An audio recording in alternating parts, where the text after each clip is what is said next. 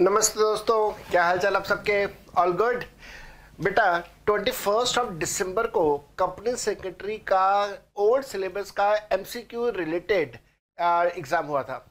Old syllabus जो company secretary का है, उसके अंदर हंड्रेड मार्क्स का एमसीक्यू पूछा जाता है और उसका exam twenty first of December का हुआ, जिसमें चार सेट आते हैं set A set B set C and set D मेरे पास इस समय सेट डी सेट डी मेरे पास है। और इस सेट डी के जितने भी क्वेश्चन हैं, सभी क्वेश्चंस का सोल्यूशन मैं आपके साथ यहाँ पे डिस्कस करने के लिए आया हूँ। आप में से जो स्टूडेंट्स कंपनी सेक्रेटरी के हैं, ये आप लोगों के लिए बहुत बहुत ज़्यादा हेल्पफुल रहेगा। ये paper twenty first of December 2018 का हुआ था। आप में से जो स्टूडेंट सीए वाले हैं सीए वाले स्टूडेंट्स को एक चीज़ मैं इस क्लास को स्टार्ट करने से पहले बता देता हूँ।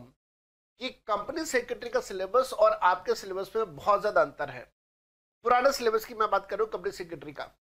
पुराने सिलेबस के अंदर ऐसे बहुत सारे टॉपिक्स हैं जो कि हम लोग सीए के स्टूडेंट्स सी ए फाइनल में आके करते हैं। तो अगर इस वीडियो के अंदर आप कुछ ऐसे क्वेश्चन देखें जो कि आपको समझ में नहीं आ रहे कि ये कौन से टॉपिक के हैं तो उस चीज़ को लेके बिल्कुल भी अपसेट नहीं होना आपने। ये सारे के सारे टॉपिक्स हम लोग या तो सी एम ए फाइनल में पढ़ेंगे या सी ए फाइनल में पढ़ेंगे। तो ये video exclusively company secretary students के लिए है। अगर सीए के स्टूडेंट्स भी इस वीडियो को देख रहे हैं तो आपको थोड़ी सी परेशानी हो सकती है। सीएस के स्टूडेंट्स आप लोगों के साथ डिस्कशन करना चाहूँगा बेटा। आपका ये जो पेपर ट्वेंटी फ़र्स्ट दिसंबर का हुआ this was not on the easier side ये बिल्कुल भी आसान पेपर नहीं था, ये मुश्किल पेपर था। लेकिन at the same time the brighter side अगर मैं इसकी देखूँ तो जिन स्टूडेंट्स ने कंपनी सेक्रेटरी इंस्टीट्यूट के स्टडी मटेरियल को थॉरली पढ़ा हुआ है, उन लोगों को इस पेपर को करने में बिल्कुल कोई परेशानी, कोई दिक्कत नहीं होगी। एक एक क्वेश्चन ऐसा है जो कि आपके स्टडी मटेरियल में से आया हुआ है। स्टडी मटेरियल के बाहर से कोई क्वेश्चन नहीं था। तो अगर आपने स्टडी मटेरियल को थॉरली पढ़ा हुआ था तो फिर आपको इस पेपर को सॉल्व करने में परेशानी नहीं आई होगी। लेकिन अगर आपने स्टडी मटेरियल को थॉरली नहीं पढ़ा तो डेफिनेटली ये पेपर अटेम्प्ट करना आसान नहीं था। आज मैं ये सारे के सारे सौ के सौ क्वेश्चंस आपके सामने सॉल्व करूँगा। कुछ प्रैक्टिकल क्वेश्चंस है, वो भी हम लोग सॉल्व करेंगे डिस्कस करेंगे।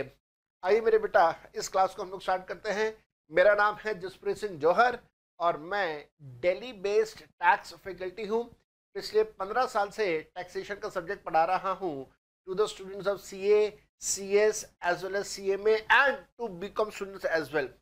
और आइए मेरे बेटा इस क्लास को हम लोग स्टार्ट कर रहे हैं। मेरे सामने यहाँ पे क्वेश्चन पेपर है जो कि सेट डी है। This is set D I am not sure आप लोगों के पास कौन सा सेट है लेकिन सभी सेट्स के अंदर जो क्वेश्चंस हैं वो एग्जैक्टली exactly सिमिलर रहते हैं।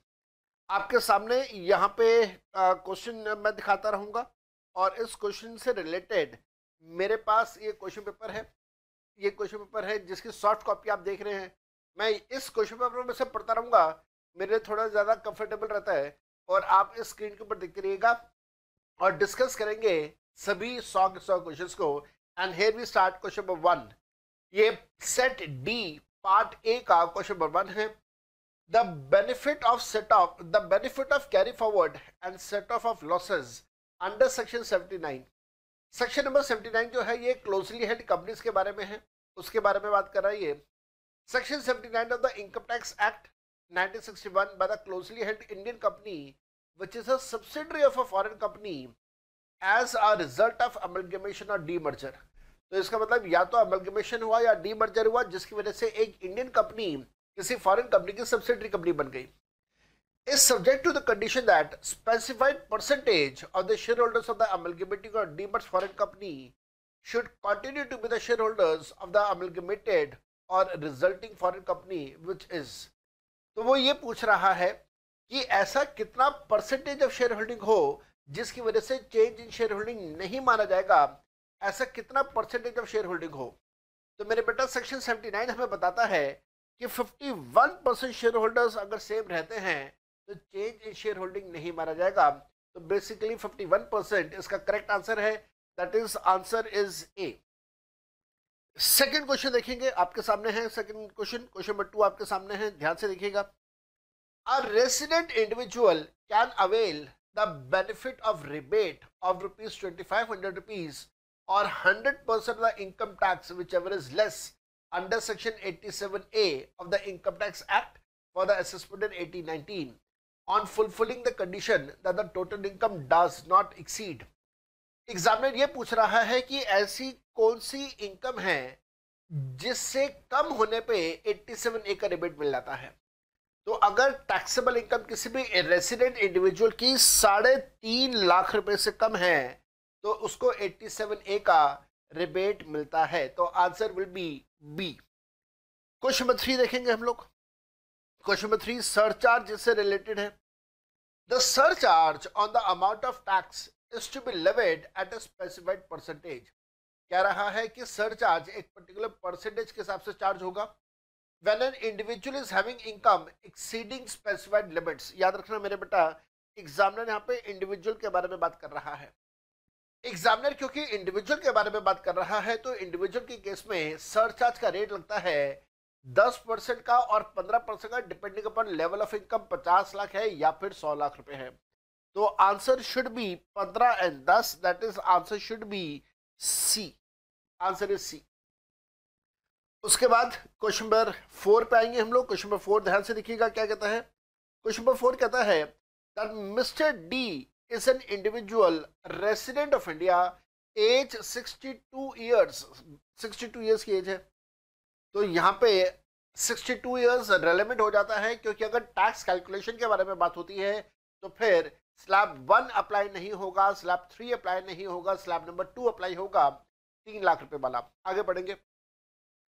D an individual resident age 62 years received after TDS of of a professional fees rupees 2 lakh 50,000 rupees on 1st of July 2017 and 3 lakh rupees on 1st of March 2018 for rendering services in Hong Kong on which TDS of 50,000 and 60,000 rupees have been deducted respectively. मेरे बेटा Hong Kong के अंदर उसने कुछ पैसा कमाया और Hong Kong के अंदर टीडीएस होने के बाद इसको जो पैसा मिल रहा है वो मिल रहा है दो लाख पचास हज़ार रुपये और तीन लाख रुपए तो दो अलग अलग इनकम्स हैं और टीडीएस हो चुका है आपको इस बात का ध्यान रखना है तो जब आप इंडिया में ग्रॉस टोटल इनकम कैलकुलेट करोगे तो टीडीएस को आप ऐड कर दोगे। Has oh sorry, he has incurred two lakh sixty thousand rupees as an expenditure for earning this fees. तो इस फ़ीस को कमाने के लिए उसका two lakh sixty thousand rupees का एक्सपेंडिचर हुआ था। Fair enough he has deposited one lakh rupees in public provident fund एक लाख रुपए का पीपीएफ में डिपॉजिट किया। दैट मीन्स एट्टी सी का इसको डिडक्शन मिल जाएगा। His income from other sources is एक लाख पचास हज़ार रुपये तो किसी और इनकम को भी उसने कमाया जो कि एक लाख पचास हज़ार रुपये की इनकम है the tax liability including the cess that means यहाँ पे एजुकेशन सेस की बात हो रही है of D for the assessment in eighteen nineteen be assuming that India is not having any tax treaty with Hong Kong. मेरे बेटा, अगर इंडिया का कोई टैक्स ट्रीटी ट्रीटी नहीं है दैट मीन्स अगर डबल टैक्सेशन अवॉर्डेंस एग्रीमेंट नहीं है तो ऐसे सिचुएशन में हम लोग सेक्शन नंबर 91 का डबल टैक्सेशन रिलीफ अलाउ कर देते हैं। तो सेक्शन नंबर 91 का ये डबल टैक्सेशन रिलीफ कैसे कैलकुलेट होगा? आइए जरा स्टार्ट कर देते हैं इसको। तो कैलकुलेशन ऑफ़ टोटल इनकम पहले टोटल इनकम कैलकुलेट करो मैं। हांगकांग की जो इनकम है हांगकांग की जो इनकम है, उसमें इनकम नंबर वन में दो लाख पचास हज़ार रुपये की इनकम दी हुई है। जिसके अंदर फिफ्टी थाउज़ेंड का टीडीएस हुआ था। So this will come to three lakh income number two है, जिसके अंदर थ्री लाख रुपीस की इनकम दी हुई है और सिक्सटी थाउज़ेंड का टीडीएस हुआ था। तो this will be sixty thousand इसके अंदर मैंने सिक्सटी थाउज़ेंड ऐड किया तो दिस इज़ थ्री सिक्सटी इन दोनों को जब हम लोग ऐड करेंगे तो हमारे पास आ जाएगा six lakh sixty thousand rupees आपको एक्सपेंसेस का डाटा भी गिवन है तो आप एक्सपेंसेस का data two lakh sixty thousand rupees का, वो भी आप लेस कर दीजिए। तो आपके पास हांगकांग की इनकम आ जाएगी that will be four lakh rupees तो चार लाख रुपए आपके पास हांगकांग की इनकम है। इसके अंदर आप इंडिया की इनकम ऐड कर दीजिए। इंडियन इनकम आप इसके अंदर ऐड कीजिए, जो कि आपको दिया हुआ है one lakh fifty thousand rupees का। जब आप इन दोनों को ऐड कर देंगे तो आपके पास ग्रॉस टोटल इनकम आ जाएगा that comes to five lakh fifty thousand rupees eighty C का आपने पब्लिक प्रोविडेंट फंड का अमाउंट लेस कर देना है, जो कि पीपीएफ का अमाउंट आपको दिया हुआ है वन लाख रुपीस का। जब आप इसको लेस कर दोगे तो आपके पास टोटल इनकम आ जाएगा that is four lakh fifty thousand rupees का। आप इस फोर फिफ्टी के ऊपर टैक्स का अमाउंट कैलकुलेट करेंगे तो four fifty minus three lakh किया मैंने, क्योंकि स्लैब वन है तो वन लाख फिफ्टी थाउज़ेंड आया।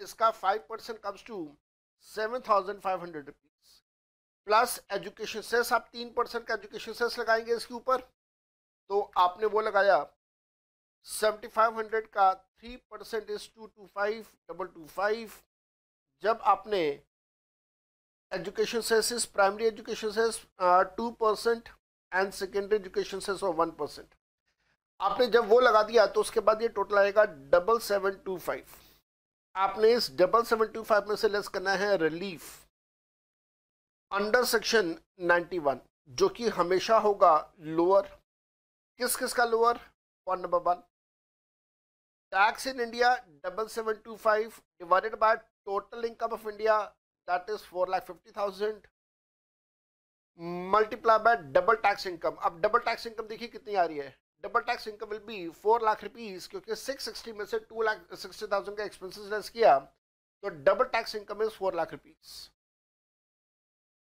तो अगर आप प्रोपोर्शनेट कैलकुलेट कर दें तो साढ़े चार लाख रुपए से डिवाइड करके चार लाख से मल्टीप्लाई किया तो this comes to six eight double six और दूसरा tax in the foreign country what is the tax in the foreign country one lakh fifty thousand one lakh ten thousand sorry total income of foreign country, what is the total income of the foreign country?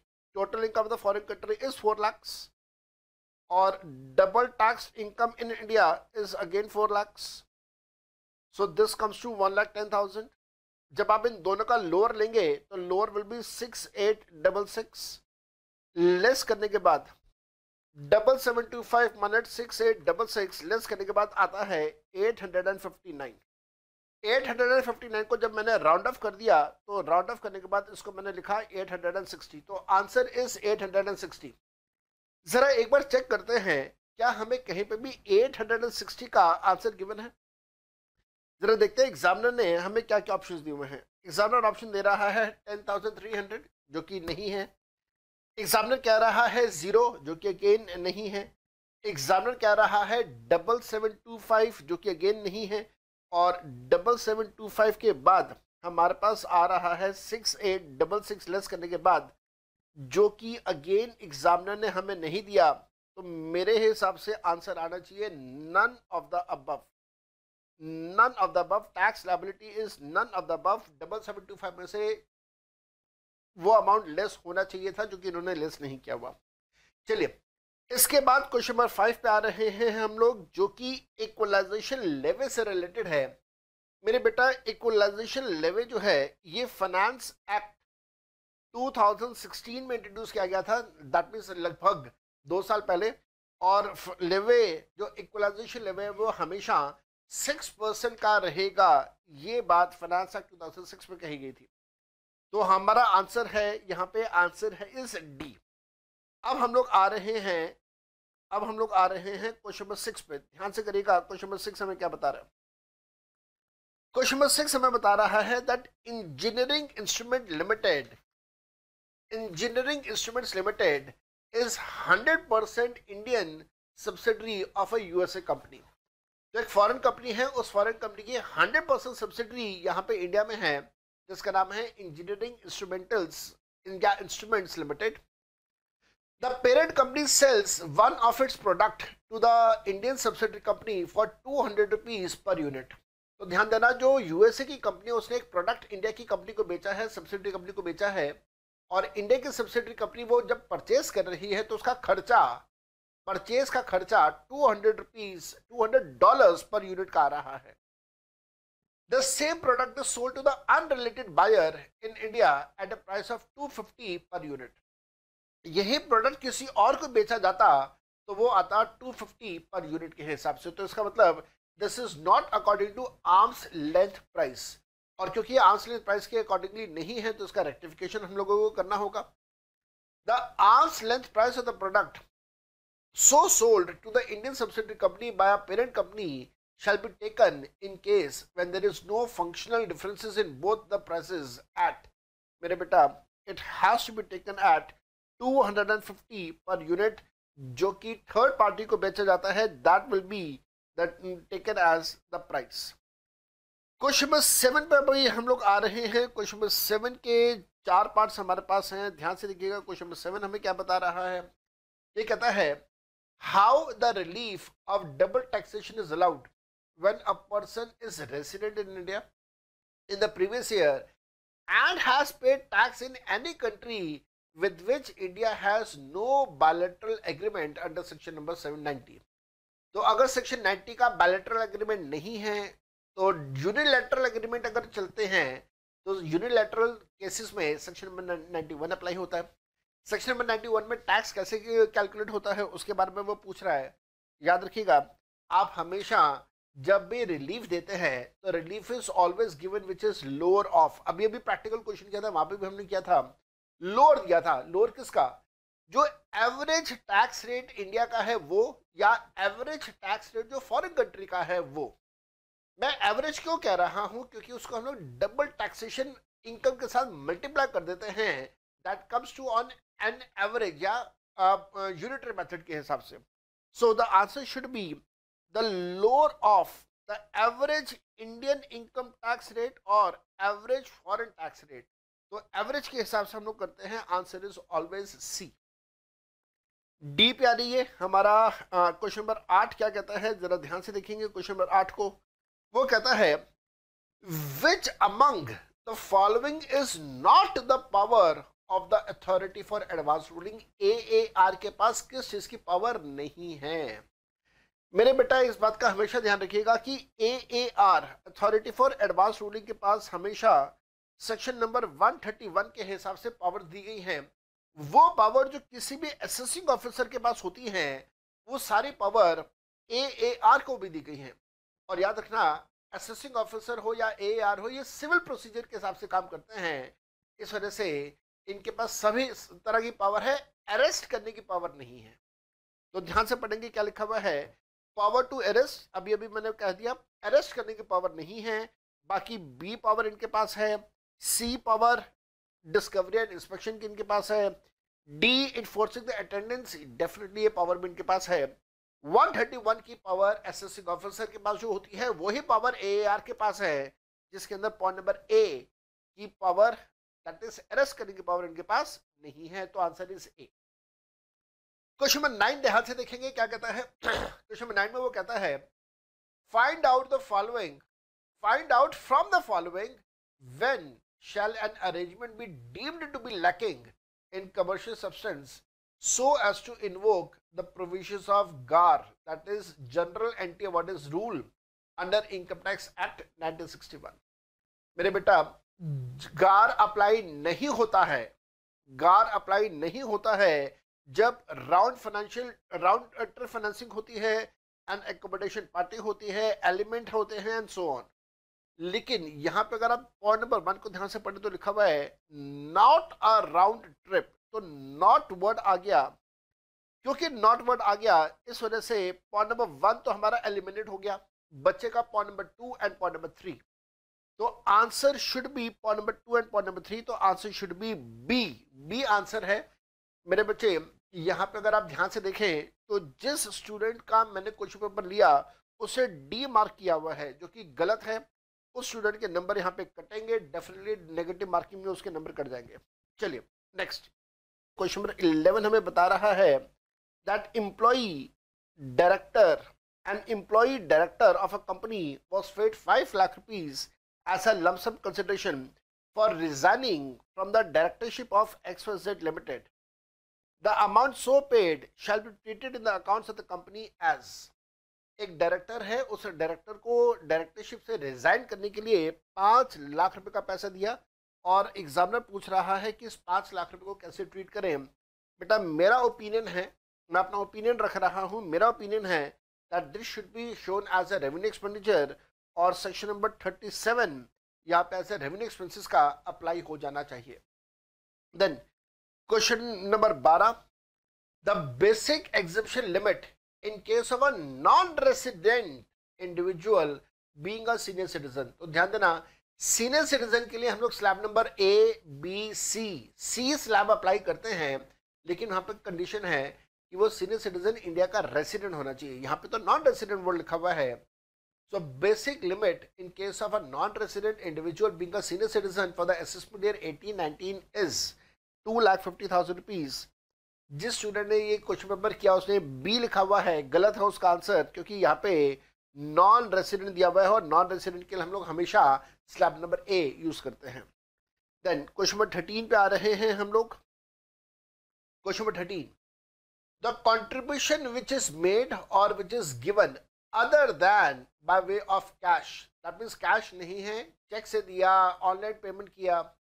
Contribution which is made or given other than by way of cash by an Indian company in the previous year to the political party Indian company है, political party है, section eighty GG की series का apply हो जाएगा। यहाँ पे eighty GG B के बारे में हम लोग यहाँ पे बात कर रहे हैं। Indian company in the previous to any political party और to any electoral trust shall be allowed as a deduction well computing its total income under section eighty G G B of the income tax act nineteen sixty one of an amount which is maximum up to तो मेरे बच्चे, ध्यान देना हालाँकि 80 GGB के अंदर there is no monitor limit given but otherwise हमारी understanding इतनी स्ट्रांग है कि हमें यह बात समझ आती है कि कभी भी ग्रॉस टोटल इनकम से ज़्यादा का डिडक्शन उसको नहीं मिल सकता है। तो यहाँ पे हमारा जो आंसर आ रहा है वो है there is no monetary limit answer is C part question number fourteen पे आ रहे हैं हम लोग। क्या कहते हैं क्वेश्चन नंबर फोर्टीन में? The total income tax including education cess which is payable in case of a resident individual as 58 years who uh, whose computed total income is three lakh forty thousand rupees for the assessment in eighteen nineteen shall be. ये बहुत आसान है। अगर मैं orally इसको कर दूँ तो बड़ा अच्छा रहेगा आपके लिए भी मेरे लिए भी। थ्री लाख फोर्टी थाउज़ेंड में से आप two lakh fifty thousand rupees का एग्जीबिशन दे दीजिए। तो बच गया हमारे पास, बच गया हमारे पास नाइन्टी थाउज़ेंड उस नाइन्टी थाउज़ेंड का अगर आप फाइव परसेंट कैलकुलेट करें तो that comes to forty five hundred rupees forty five hundred rupees में से ट्वेंटी फाइव हंड्रेड रुपीज़ का रिबेट मिल जाएगा, क्योंकि इनकम साढ़े तीन लाख से कम है। रिबेट के बाद अमाउंट आ रहा है दो हज़ार रुपये इस 2000 के अंदर तीन परसेंट का एजुकेशन सेस मैंने ऐड कर दिया तो my answer now comes to 2060 और यही आंसर हमें यहाँ पे दिया हुआ है फोर्टीन का बी 2060 क्वेश्चन नंबर 15 पे आ रहे हैं हम लोग यहाँ पे। क्वेश्चन नंबर 15 देखिएगा, क्या कहता है? 15 कहता है, Hari Krishna Vidyut company limited is engage in the business of generation and distribution of power and electricity and has opted for WDV method for claiming depreciation on its assets.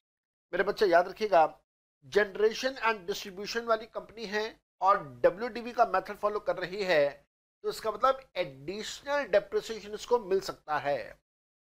आगे देखेंगे। Opening balance in the block of plant machinery depreciated at 15% on 1st of April 2017 was पंद्रह लाख रुपए। तो जो opening value given है, वो opening value है पंद्रह लाख रुपए। तो याद रखिएगा इस पंद्रह लाख की ओपनिंग वैल्यू के ऊपर आप पूरा पंद्रह परसेंट का डेप्रिसिएशन चार्ज करेंगे। ओपनिंग वैल्यू में तो कभी एडिशनल डेप्रिसिएशन नहीं मिलेगा आपको। फिर एग्जामिनर कहता है a new machinery amounting to 25 lakh rupees were purchased on 15th of November 2017 and it was put to use on first of December 2017 तो मेरा बेटा, जो 25 लाख की न्यू मशीन है, इसके ऊपर 35 परसेंट का डेप्रिसिएशन आएगा। दैट मीन्स एडिशनल डेप्रिसिएशन को ऐड करने के बाद आपके पास यहाँ पर 35 परसेंट का डेप्रिसिएशन आएगा। और ये जो 35 परसेंट का डेप्रिसिएशन है, इसका भी आप आधा करेंगे, क्योंकि बाकी का आधा अगले साल कैरी फॉरवर्ड हो जाएगा।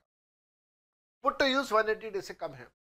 उसके बाद एग्जामिनर कहता है Computers were purchased for 2 lakh rupees on 9th of September 2017 and they were put to use in the business since that date. मेरे बेटा कंप्यूटर्स दो लाख रुपए के कंप्यूटर्स हैं इसके ऊपर 40 परसेंट का डेप्रिसिएशन मिलेगा पूरे साल का the depreciation including additional depreciation which is available to the company on the plant machinery and on the computers shall be तो आप इन दोनों को जब ऐड कर देंगे तो आपके पास इन तीनों को जब आप ऐड कर देंगे तो आपके पास डेप्रिसिएशन का अमाउंट आ जाएगा। तो मेरे पास कैलकुलेटर है, मैं कैलकुलेटर यूज़ करूँगा। पंद्रह लाख का पंद्रह परसेंट कैलकुलेट किया दैट कम्स टू दो लाख पच्चीस हज़ार पे मैंने मेमोरी में डाल दिया। पच्चीस लाख का थर्टी फाइव परसेंट का आधा मैंने कैलकुलेट किया that comes to four lakh thirty seven thousand five hundred rupees मैंने अगेन एम प्लस करके मेमोरी में डाल दिया। दो लाख रुपए का कंप्यूटर है, जिसके ऊपर फोर्टी परसेंट का डिप्रेशन चार्ज होता है। एट्टी थाउज़ेंड रुपीज़ मैंने मेमोरी में डाल दिया। जब मैंने मेमोरी रिकॉल का बटन दबाया तो that comes to seven lakh forty two thousand five hundred rupees so seven lakh forty two thousand five hundred rupees is the answer देखते हैं, यहाँ पे दिया हुआ है क्या? यस आंसर दिया हुआ है। Seven lakh forty two thousand five hundred rupees is the final answer हम लोगों ने 15 क्वेश्चंस कर लिए हैं। टोटल हमारे पास 100 क्वेश्चंस हैं। आइए बेटा, आगे चलते हैं, बढ़ते हैं यहाँ से क्वेश्चन नंबर 16 की तरफ़। क्वेश्चन नंबर 16 देखिए क्या कहता है। क्वेश्चन नंबर 16 कहता है that Radhe traders Radhe a trader having turnover of 90 lakh rupees from the textile business inclusive of turnover of 20 lakh rupees carried through banking channel yes तो ये इस साल का लेटेस्ट अमेंडमेंट है। ट्वेंटी लाख रुपीज़ जो banking channel से आए हैं, इसके ऊपर छह परसेंट की प्रिज्यूम्ड इनकम अप्लाई होगी। और बाकी जो बच गया, बाकी कितना बच गया?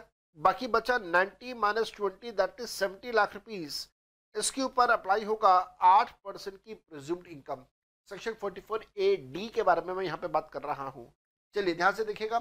Radhiya trader having turnover of 90 lakh rupees from a textile business including the turnover of 20 lakh rupees carried through a banking channel by way of draft and online payments has opted to pay tax under section 44 AD of Income Tax Act. The amount of income which shall be taken for the purposes of tax for the assessment in 1819 under the head income from business and profession is हाँ तो अब कितना पैसा business and profession में टैक्सफुल होगा मेरे हाथ में कैलकुलेटर है मैं कैलकुलेटर यूज़ कर रहा हूँ। मैंने सबसे पहले मेमोरी कैंसिल कर दिया, क्योंकि पिछले क्वेश्चन की मेमोरी में था तो मैंने मेमोरी कैंसिल किया। अब काम करते हैं सेवेंटी लाख रुपीज़ का आठ percent that is five lakh sixty thousand rupees memory में डाल दिया। और ट्वेंटी लाख रुपीज़ का six percent is one twenty ये भी मेमोरी में डाल दिया। मेमोरी रिकॉल किया तो आंसर आया six lakh eighty thousand rupees तो answer is six lakh eighty thousand rupees मेरे बेटा। लेटेस्ट अमेंडमेंट था वो वाला कंसेप्ट मैंने आपको यहाँ पे करवा दिया है। आगे देखेंगे क्वेश्चन नंबर सेवनटीन क्या बताता है? क्वेश्चन सेवनटीन बताता है that Sardar Sukhdev Singh is engage in the business of flying leasing and hiring of heavy goods vehicle and owns six heavy goods vehicle during the period of April to March छह है याद रखिएगा।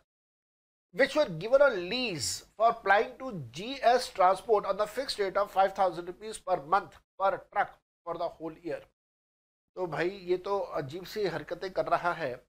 Presumed income seventy five hundred rupees per truck की है, लेकिन इसने truck आगे किराए पे दिया है सिर्फ़ पाँच हज़ार पे पर ट्रक पर मंथ के हिसाब से गलत गलत कर दिया इसने यहाँ पे काम।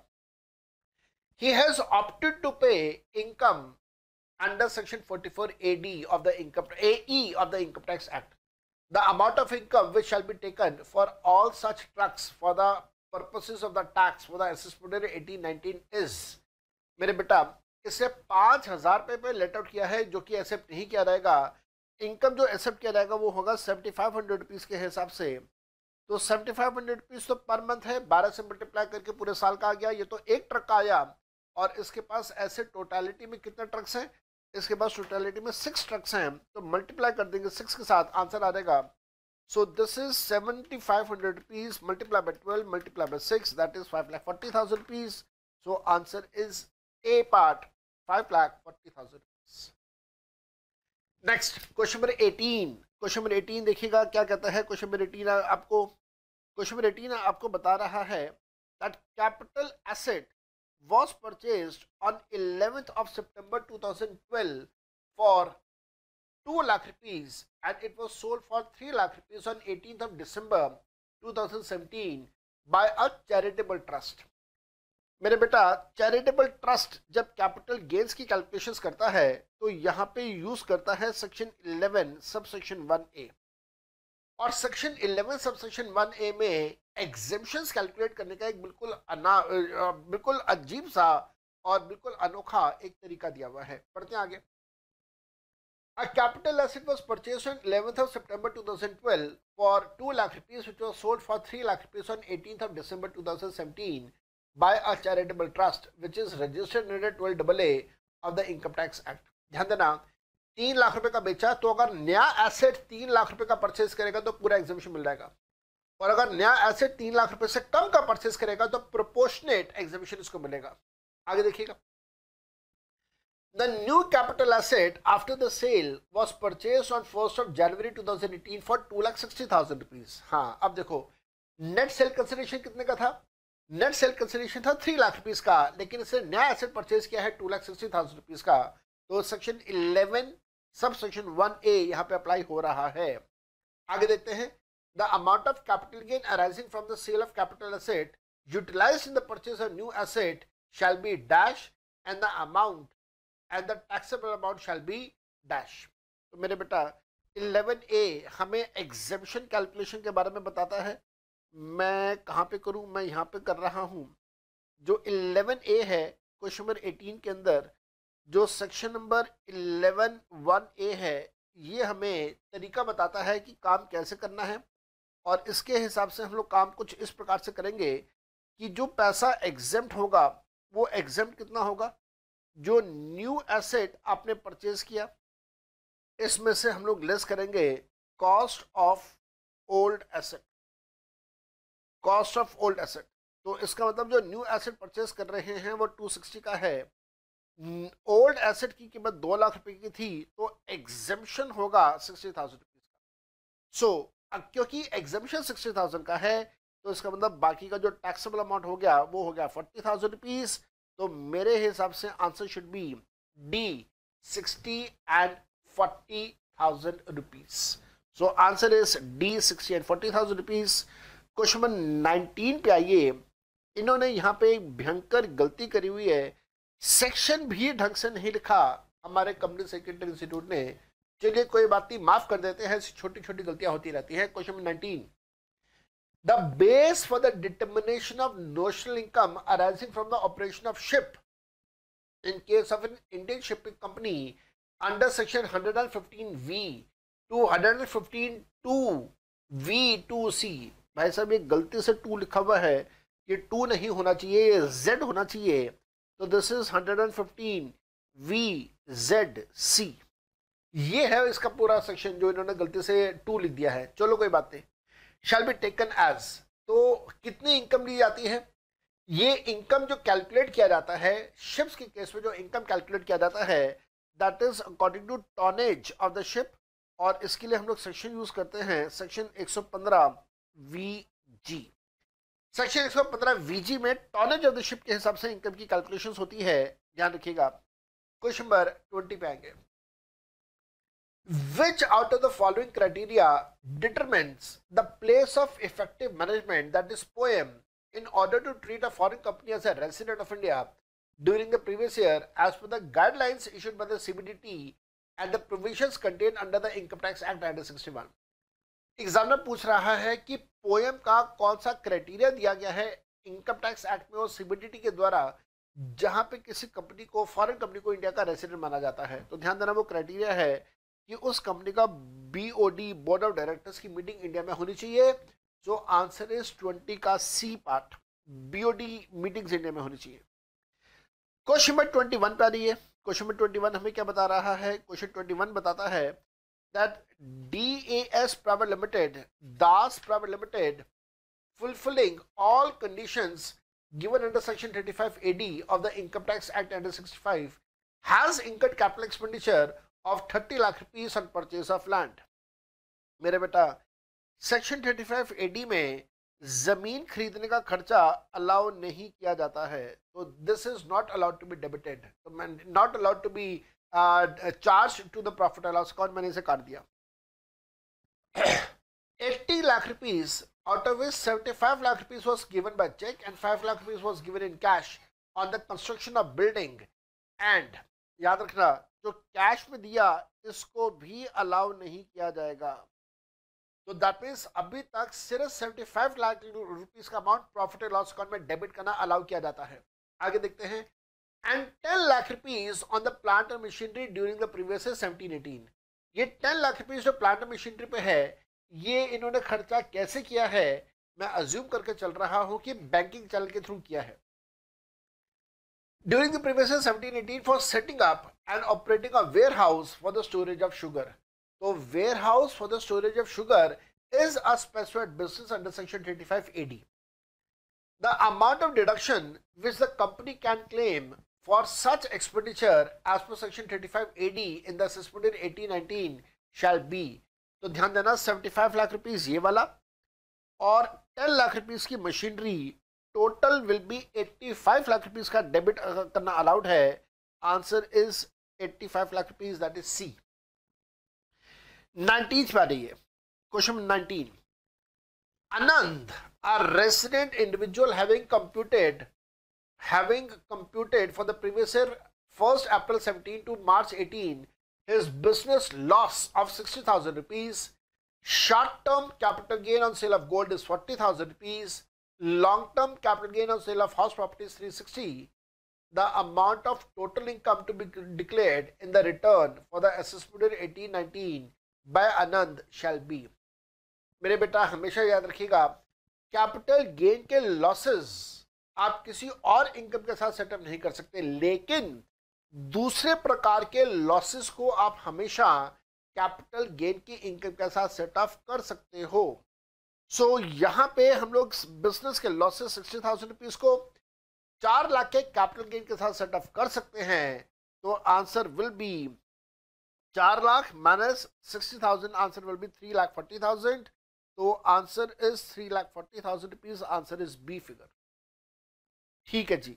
उसके बाद यहाँ से और आगे चलेंगे हम लोग तो आएँगे क्वेश्चन नंबर ट्वेंटी थ्री पे।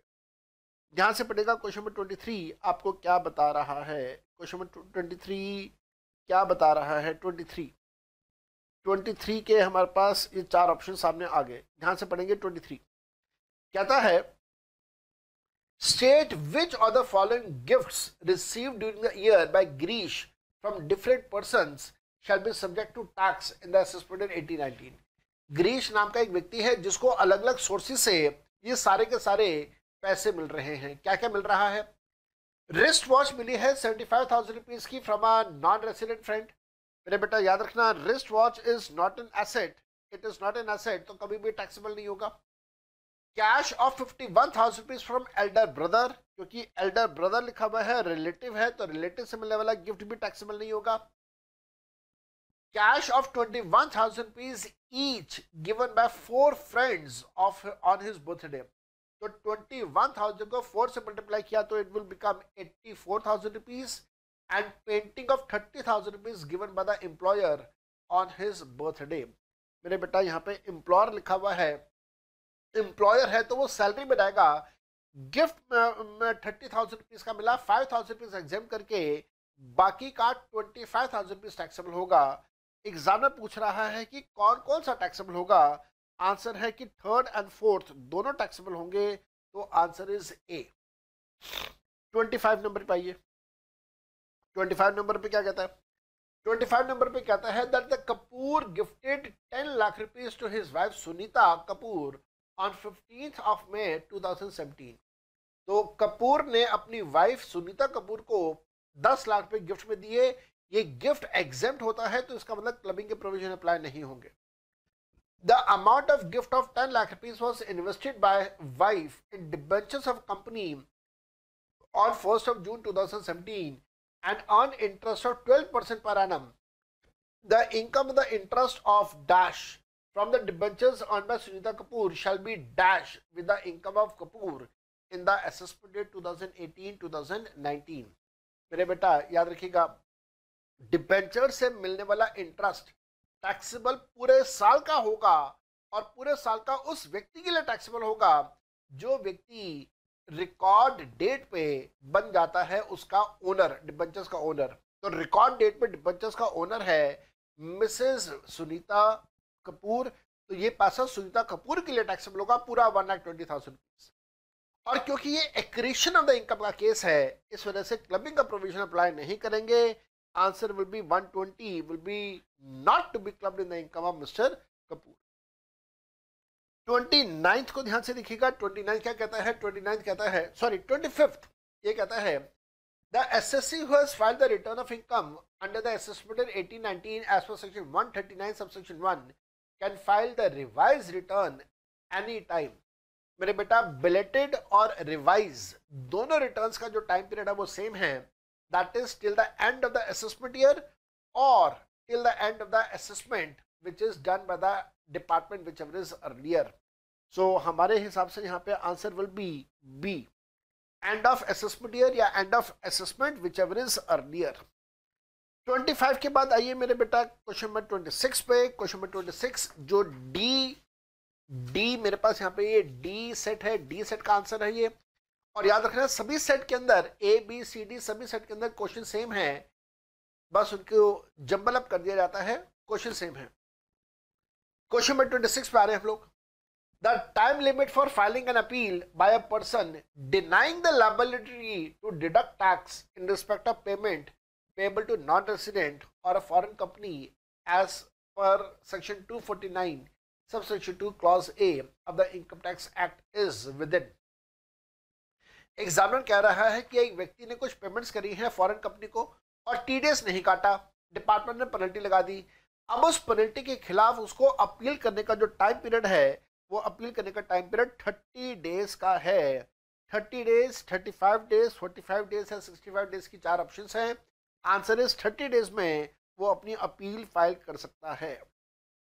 क्वेश्चन नंबर ट्वेंटी सेवन पे आएँगे हम लोग। The due date e filing of return of income by a charitable trust claiming exemption under section 11 and section 12 shall be मेरे बेटा, याद रखना, अगर सेक्शन 11 और 12 का आपने एग्जामेशन लेना है चैरिटेबल ट्रस्ट ने एग्जामेशन लेना है तो इस केस में ऑडिट करवाना कंपलसरी है।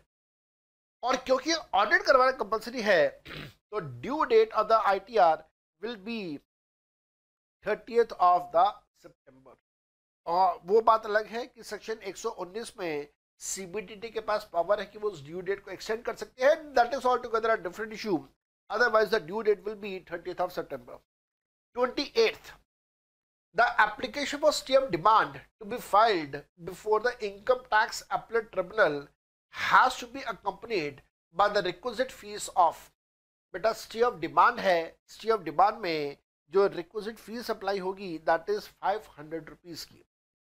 Question number twenty nine which planning is based on the measures which circumvent the law तो बेटा, कौन सा प्लानिंग का तरीका है जो कि सरकमवेंट द लॉ करता है? That is purposive tax planning आपके स्टडी मेटेरियल में गिवन था, मैंने भी स्टडी मेटेरियल में से देखा, पढ़ा और मेरे को ये बात वहाँ से पता चली है। क्वेश्चन नंबर थर्टी पे आ रहे हैं हम लोग। बहुत ध्यान से करना। Question number thirty R sold a machinery to H an associate enterprise and in turn H sold the same machinery to an an independent party तो यहाँ पे ट्रांसफ़र प्राइसिंग का कंसेप्ट आ रहा है। एक कंपनी ने अपने एसोसिएट को कोई मशीनरी बेची एसोसिएट ने आगे थर्ड पार्टी को वो मशीन बेच दी है। At the margin of forty percent of six lakh rupees but at H has incurred 8000 rupees in sending the machinery to N. That means expenses की बात हो रही है। आर्म्स लेंथ प्राइस कैलकुलेट करने के लिए एग्जामिनर कह रहा है as per the retail price method retail price method में हम लोग क्या करते हैं? बड़ा आसान है। जो भी आपका सेल प्राइस है छः लाख रुपए, इसमें से प्रॉफिट मार्जिन पहले लेस कर दो। तो प्रॉफिट मार्जिन जो फोर्टी परसेंट का है, वो लेस कर दो। मेरे ख्याल से ये आता है तीन लाख साठ हज़ार रुपये ये लेस कर दिया हम लोगों ने। इसको लेस करने के बाद तीन साठ नहीं सॉरी दो चालीस, ये बनता है two forty six four twenty four तो टू फोर्टी बचा। तो टू फोर्टी बचने के बाद थ्री सिक्सटी आ गया हमारे पास, जो कॉस्ट है और उसमें से जो खर्चा आठ हज़ार रुपये का था, वो भी लेस कर दो। तो लेस करने के बाद आपके पास जो आंसर आएगा वो that will be three lakh fifty two thousand rupees question number thirty one the income earn in other contracting state from operation of ships in an international traffic as per double taxation avoidance agreement, will be taxed in that contracting state when यहाँ पे D T A के बारे में बात हो रही है double taxation avoidance agreement की बात हो रही है, जहाँ पे बार बार परमानेंट इस्टेब्लिशमेंट के बारे में बात की जाती है। जहाँ पे परमानेंट इस्टेब्लिशमेंट है, उसके हिसाब से डी टी ए के प्रोविज़न हम लोग अप्लाई करेंगे। तो answer is A thirty two GAAR GAAR GAAR. गार के दो या तीन क्वेश्चन आगे इस बार। General anti avoidance rule GAAR दो were announce in finance act 2012 but had been deferred and they have been made applicable in India from मेरे बेटा, ये तो लेटेस्ट असेसमेंट है ईयर 1890 से गार के प्रोविज़न अप्लाई हुए हैं। लेटेस्ट अमेंडमेंट के क्वेश्चन एग्जामिनर ने पूछ लिए हैं। आइए क्वेश्चन नंबर 33 पर चलते हैं। देखिए 33 हमें क्या बता रहा है? अरे भाई, कहाँ गया 33 यस ये रहा 33 state the relevant form for filing an application with authority for advance ruling by a resident having a transaction with a non resident एक रेसिडेंट अगर रेसिडेंट के साथ कोई ट्रांजैक्शन कर रहा है और उससे रिलेटेड वो R authority for advance ruling के पास जाके एडवांस रूलिंग लेना चाहता है तो कौन सा फॉर्म यहाँ पे यूज़ होगा? मेरे बेटा, याद रखिएगा, हम लोग यहाँ पे सेक्शन नंबर 245 क्यू और rule number rule number 44 E के बारे में बात कर रहे हैं जहाँ पे आंसर है 34 D and 10 thousand rupees. Next, question number 34.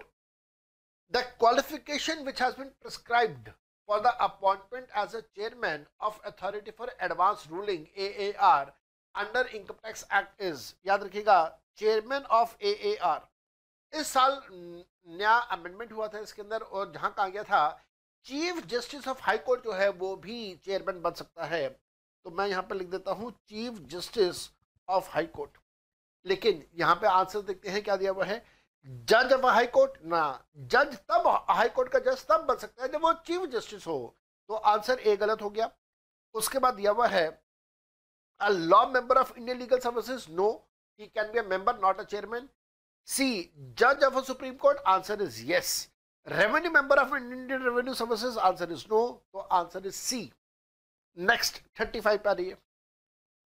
Depreciation, whether to be allowed on the purchase and installation of a fire extinguisher by a practicing company secretary in his office when the same is not put to use or used during the year of acquisition as stipulated under section 32 of the income tax act 1961 मेरे बेटा, हम लोग concept ये करते हैं कि अगर कोई एसेट को खरीदने के बाद आपने पुट यूज़ किया है, तब उसका डेप्रिसिएशन मिलेगा।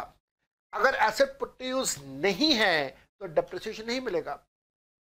बॉम्बे हाई कोर्ट की हमारे पास जजमेंट है with name called Dinesh Kumar Gulab Chand Agrawal और दिनेश कुमार गुलाब चंद अग्रवाल के हाई कोर्ट जजमेंट में बॉम्बे हाई कोर्ट ने कहा कि पुट टू यूज़ का मतलब is not ready to use it is the actual use of the asset जब तक एक्चुअल यूज़ नहीं होगा डेप्रिसिएशन नहीं मिलेगा, मैं अपने आंसर को देते हुए रीजन दे रहा हूँ सपोर्ट कर रहा हूँ अपने आंसर्स को बॉम्बे हाई कोर्ट के जजमेंट लिखना चाहो, लिख लो। Dinesh Kumar, Gulab Chand Agarwal put to use की डेफिनेशन उन्होंने दी है। Put to use means the actual use and not ready to use तो यहाँ पे because it is not use no depreciation will be allowed no depreciation will be allowed this is my opinion हो सकता है आपने अलग अलग teacher से पढ़ा है तो उनकी ओपिनियन अलग हो. But I am supporting my opinion by giving you the judgment of the Bombay high court आपके पास जो भी ओपिनियन है, उम्मीद करूँगा उस ओपिनियन से रिलेटेड आपके पास कोई ना कोई सपोर्ट ज़रूर होगा. नहीं है आपके पास कोई सपोर्ट तो फिर मेरी बात मान लीजिएगा. Next thirty six XYZ Private Limited had distributed income of 9 lakh rupees to Rajesh for the reason of buyback of its shares. मेरे बेटा, ज़्यादा पढ़ने की ज़रूरत नहीं है। बायबैक ऑफ़ द शेयर्स है। सेक्शन 10 सब सेक्शन 34 ए में जाके वो एग्जाम्प्ट हो जाता है। Yes answer is C the income will be exempt income will be exempt under section 10 34 A next 37 लंबा सा क्वेश्चन दिया हुआ 37 Radhe has sold his residential house on 11 September for 75 lakh rupees. The value adopted by the Stamp Duty Valuation Authority on the date of registration of conveyance deed on on 15 September 2017 was 115 lakh रुपए तो 75 लाख का बेचा 115 लाख रुपए stamp duty value है तो दोनों में से हायर इस 115 सेक्शन 50 सी के हिसाब से 115 तक आ गए हम लोग आगे ध्यान से पड़ेगा Radhe disputed the valuation made by the stamp duty authority and ask the departmental valuation officer departmental valuation officer का सेक्शन 55 यहाँ पे 55 आ गया। अगर डिपार्टमेंटल वैल्यूएशन ऑफिसर कर रहा है तो फिर उसकी वैल्यू और स्टैम्प ड्यूटी वैल्यू में से जो लोअर वैल्यू होगा हम लोग वो लेंगे हमेशा। सो and ask the departmental valuation officer to, de to determine the value of the house on the date of registration The departmental valuation officer determined the value of the house on the date of registration of the deed at 120 lakh rupees. So the answer is 75 and 115 ka higher that is 115 115 and 120 ka lower is 120 sorry 115 the sale value of the house to be taken for the calculation of the capital gain as per section 50c shall be 115 lakh तो answer is A answer is A 50c और 115 लाख रुपए। तो 37 तक हम लोगों ने कर लिया। आइए क्वेश्चन नंबर 38 पे, देखिए 38 क्या कहता है।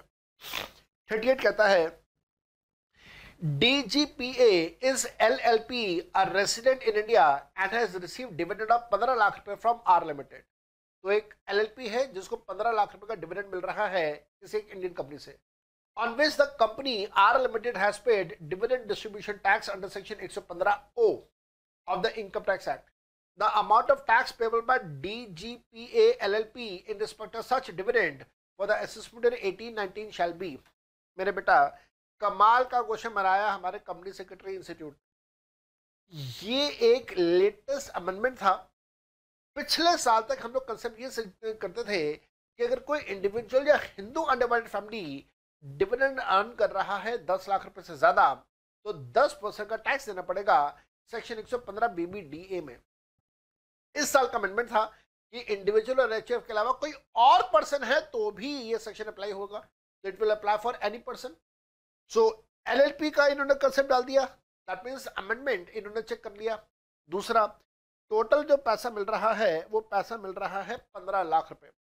तो पंद्रह लाख रुपए में से आप दस लाख रुपए एग्ज़ाम कर दो तो पाँच लाख रुपए आ गया।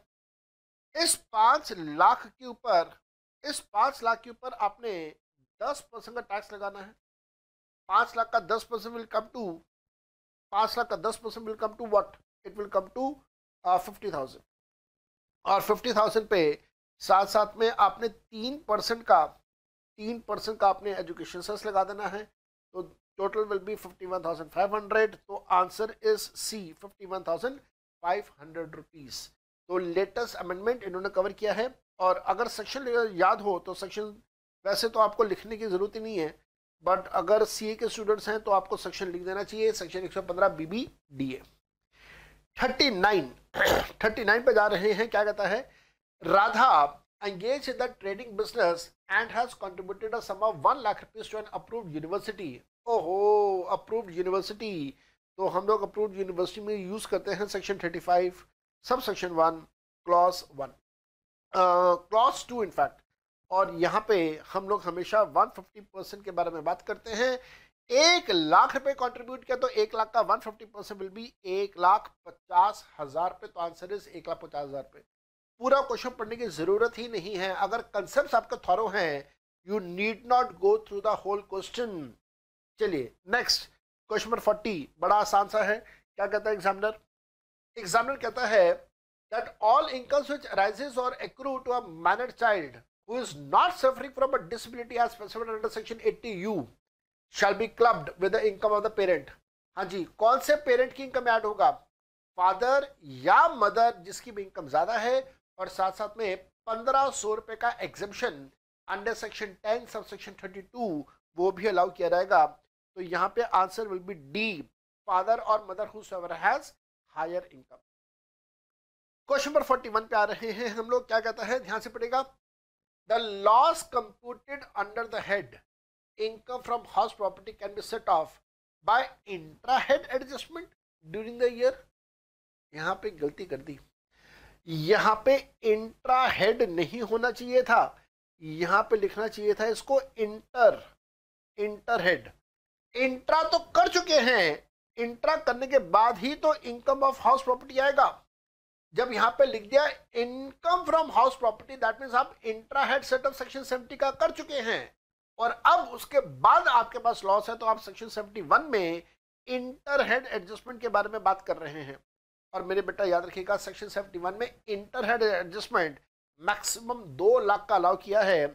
दो साल पहले का एडजस्टमेंट दो साल पहले का एडजस्टमेंट जो कि हमारे फाइनेंस मिनिस्टर अरुण जेटली साहब ने किया था तो answer will be two lakh rupees चलिए next question number forty two पे जा रहे हैं।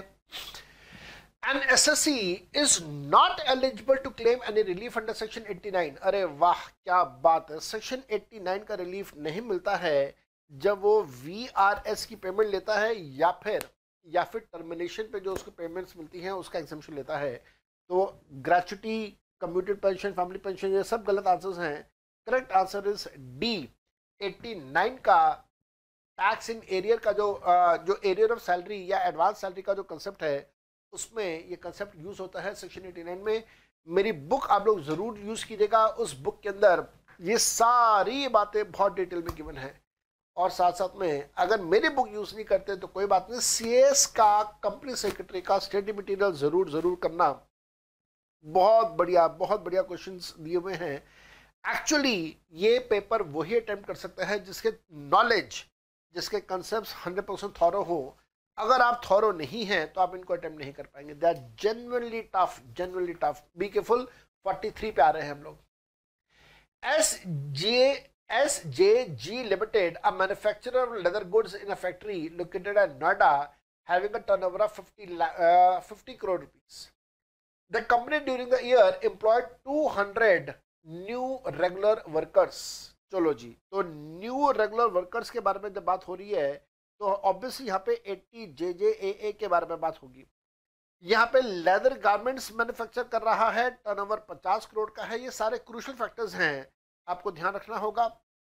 वो कहता है which was twenty percent of the existing workforce 200 employ उसने नए रखे हैं ये जो 200 न्यू एम्प्लॉय हैं, ये टोटल वर्कफोर्स का 20 परसेंट है। तो ठीक है, याद रखना 10 परसेंट वाली कंडीशन ओमिट हो चुकी है। आज से काफ़ी टाइम पहले 10 परसेंट वाली कंडीशन होती थी, अब तो वो 10 परसेंट वाली कंडीशन भी यहाँ से गायब हो चुकी है।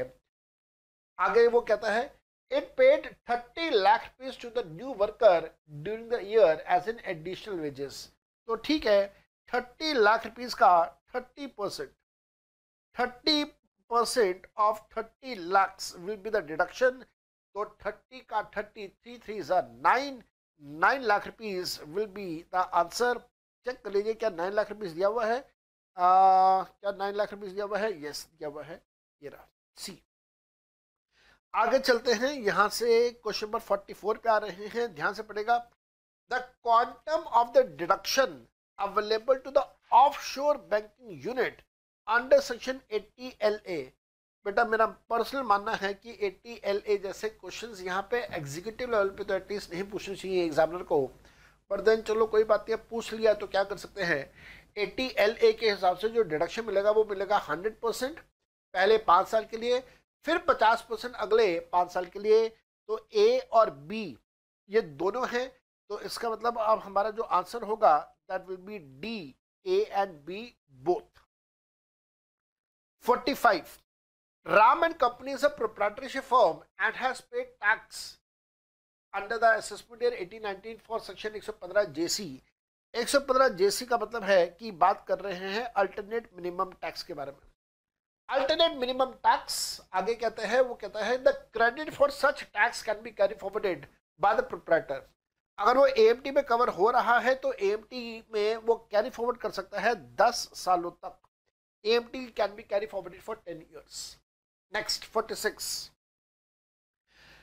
Which out of the following income is not to be clubbed while computing income from the Hindu Advait family for the assessment in 1819? याद रखना मेरे अगर एच के फंड्स को यूज़ करके कोई पैसा कमाया गया किसी मेंबर के द्वारा तो वो पैसा मेंबर के लिए टैक्सेबल नहीं होगा, वो पैसा एच के लिए टैक्सेबल होगा because the funds of the H have been utilised बस इस बात को ध्यान रखिएगा। Point number A fees or the remuneration which is received by the member or uh, as a director or a partner in the firm or in the company if the funds of the HF are invested in the company or in the partnership firm.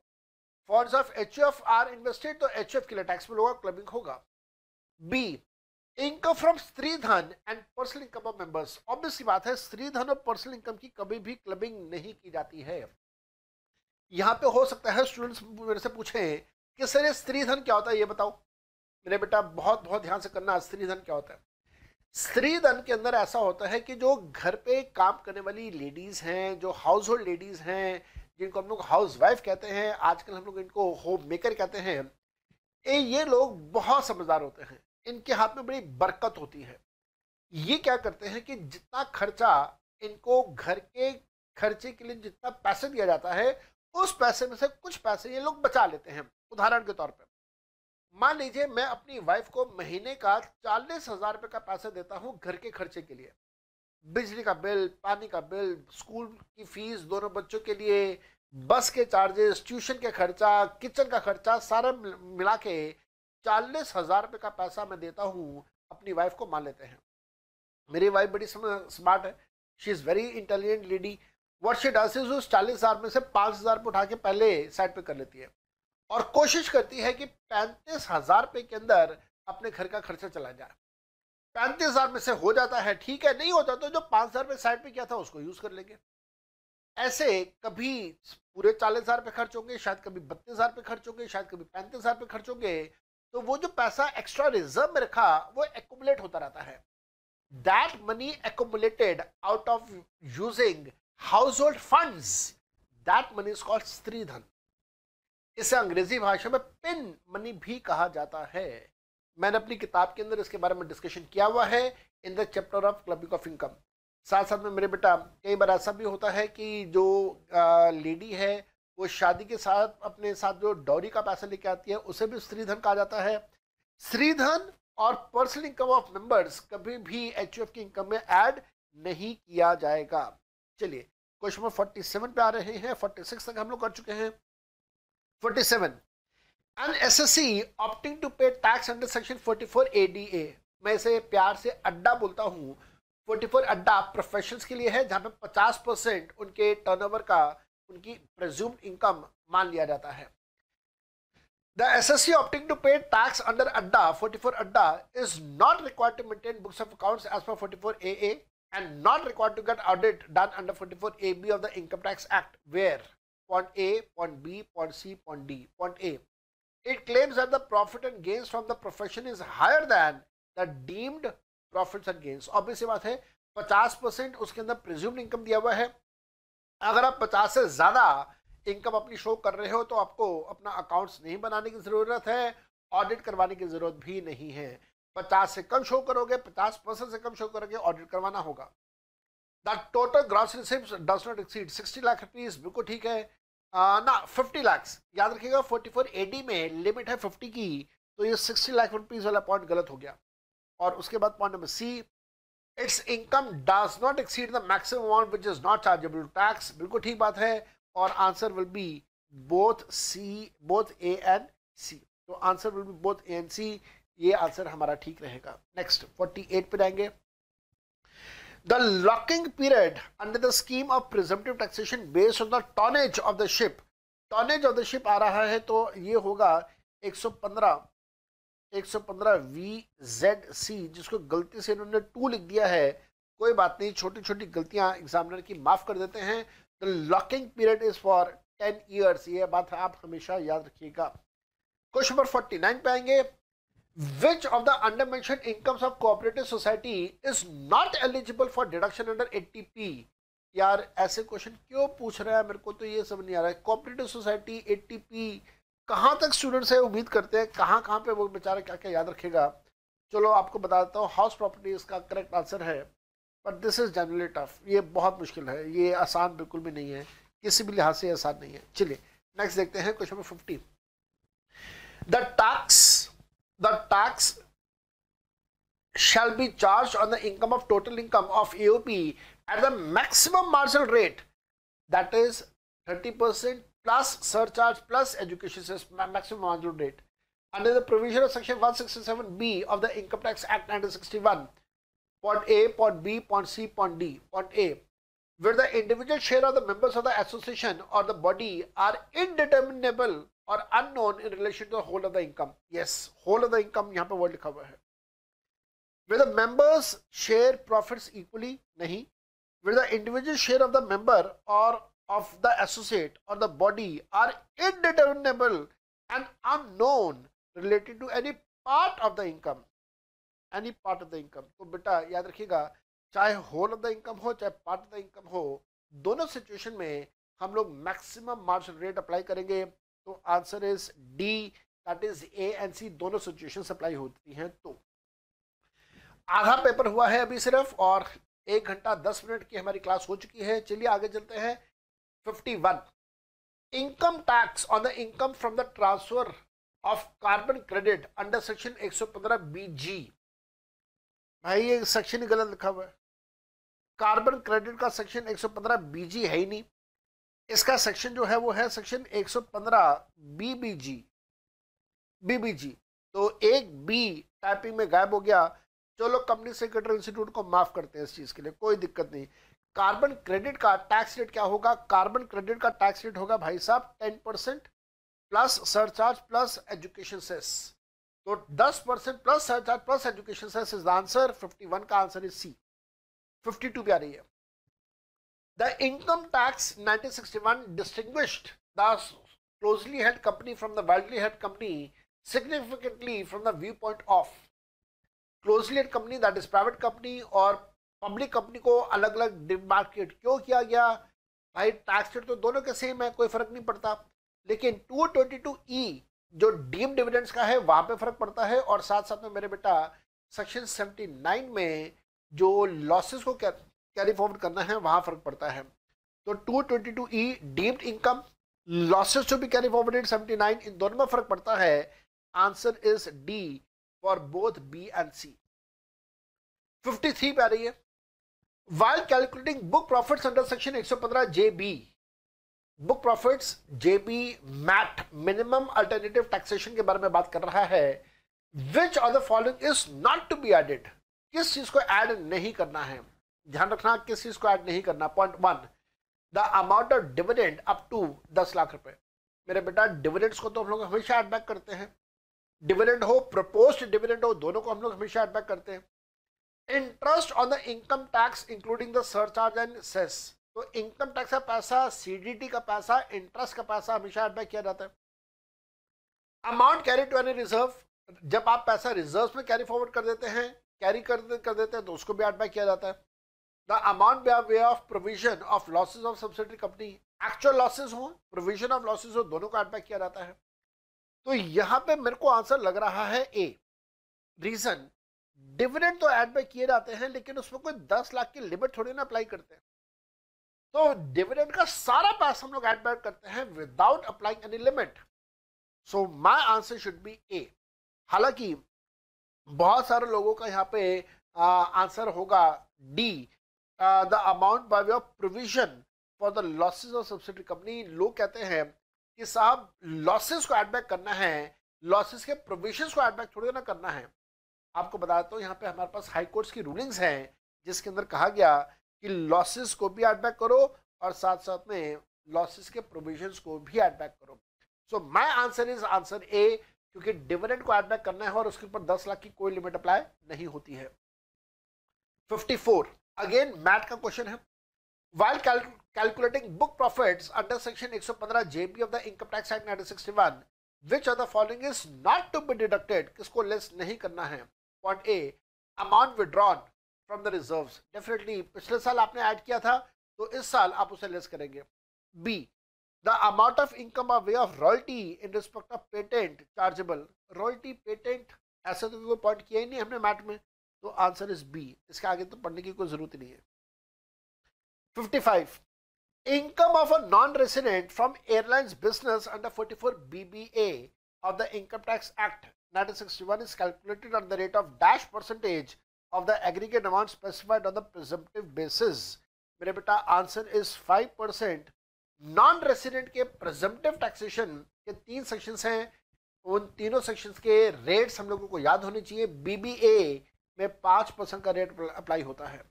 56 non resident का एक और section आपको दिया हुआ है।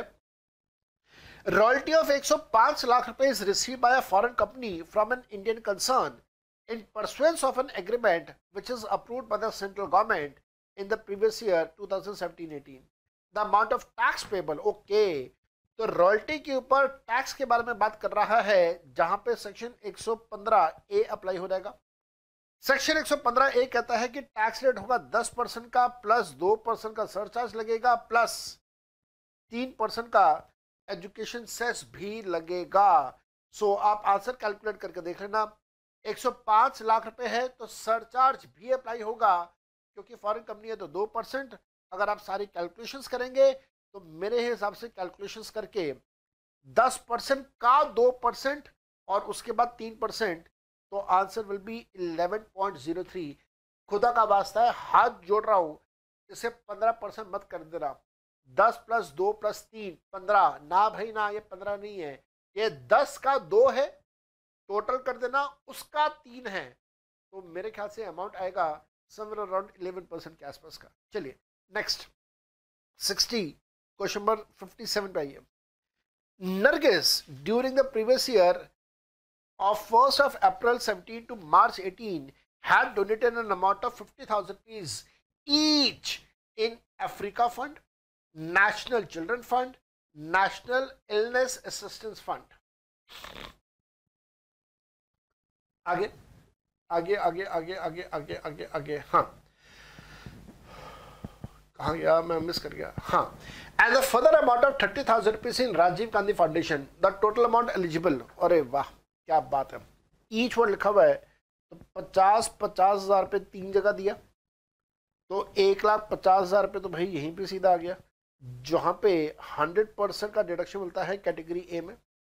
और उसके बाद इसने राजीव गांधी फाउंडेशन को पैसा दिया है तीस हज़ार रुपये तो तीस हज़ार का फिफ्टी परसेंट कैटेगरी बी में आता है पंद्रह हज़ार रुपये तो टोटल हमारे पास हो गया यहाँ पे 165 तो answer is 165 under 80 G 80 G में 165 is the total answer yes next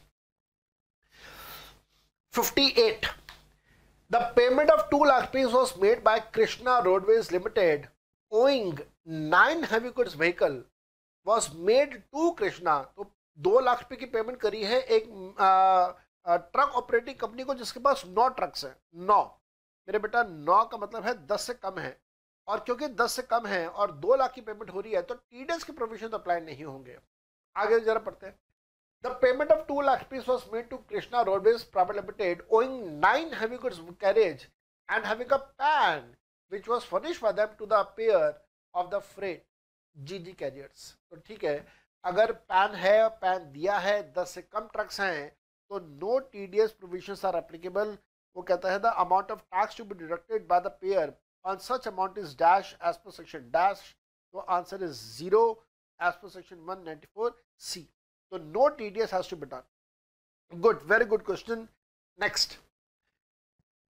Uh, state whether the tax is required to be collected at source TCS hoga या नहीं होगा under the provision of section 206C of the Income Tax Act 1961 by the person making बेटा TCS कौन से case में होता है? Dividend के केस में कोई TCS नहीं होता। हॉर्स रेसिस के केस में कोई TCS नहीं होता। यहाँ दोनों में तो TDS अप्लाई होता है और नॉन पेमेंट नॉन रेसिडेंस में भी TDS होता है। लेकिन मोटर व्हीकल के केस में TCS के प्रोविज़न अप्लाई होते हैं। आ, मेरे नोट्स अगर आप ध्यान से देखेंगे तो वहाँ पे मैंने तीन कैटेगरीज बनाई हैं टी में। Category one category two category three तो this comes under category three next यहाँ पे दिया हुआ है is it it is obligatory for the S S C to make S S C की स्पेलिंग गलत है। It is obligatory obligatory for the S S C to make payment of tax under section 208 of the income tax section 208 208 advance tax के बारे में बात कर रहा है। एडवांस टैक्स पे करना ज़रूरी कब होता है? जब जब दस हज़ार रुपए वाला पॉइंट अप्लाई होता है सो आंसर इज़ ए दस हज़ार रुपए वाला पॉइंट आंसर ए में दिया हुआ है। ठीक है जी। उसके बाद आइए क्वेश्चन नंबर 61 पे आ रही है question 61 interest is payable to an SSC on the amount of refund अच्छा जी, अगर अमाउंट ऑफ़ रिफंड है तो रिफंड के ऊपर इंटरेस्ट लगता है 244 ए में। मैं साथ साथ में सेक्शन लिखता जा रहा हूँ आपके बेनिफिट के लिए। Interest is payable to an SSC on the amount of refund under the Income Tax Act 1961 where the amount of refund is point A, B, C, D याद रखिएगा अगर अमाउंट ऑफ़ रिफंड आपके total tax assessment से 10 percent से ज़्यादा होता है तो यहाँ पे more than 10 percent yes answer is A B में 5 परसेंट है सी में 15 है डी में 20 है answer is A 10 percent so next 62 any person who has not filed the return within the time allowed under 139.1 may file the belated return. Belated return आप submit कर सकते हैं 139 में आप बिलेटेड रिटर्न सबमिट कर सकते हैं जब तक असेसमेंट नहीं हो जाता या असेसमेंट ईयर कंप्लीट नहीं हो जाता विच एवर इज़ अर्लियर तो answer will be D at the time before the end of the relevant assessment year or before the completion of the assessment whichever is earlier, D. 63 पे आ रही है the self assessment tax self assessment tax का section 140 A होता है self assessment tax का जरा पढ़ते हैं क्या कहता है the self assessment tax computed under 140 A अच्छा एग्जामिनर ने भी दे दिया सेक्शन ठीक है by an individual SSC is एक लाख पचास हज़ार रुपए विच इंक्लूड्स पंद्रह हज़ार रुपए as interest for the late filing of the return as per section 234A. The SSC has deposited 75,000 rupees as self assessment tax in this case. मेरे बेटा याद रखिएगा जब कभी भी आप टैक्स की पेमेंट करते हैं तो गवर्नमेंट के पास अगर आपका कोई आउटस्टैंडिंग अमाउंट है इंटरेस्ट का या फ़ीस का तो वो पहले इंटरेस्ट और फ़ीस में एडजस्ट होता है। उसके बाद अगर कुछ पैसा बच गया तो आपका टैक्स ट्रीट किया जाता है। तो यहाँ पे जो एडजस्टमेंट होगा वो कैसे होगा? ध्यान से पढ़ना। 75,000 so deposited shall be adjusted in the proportion of 9 is to 1 that is towards tax and interest गलत बात है ऐसा नहीं होगा।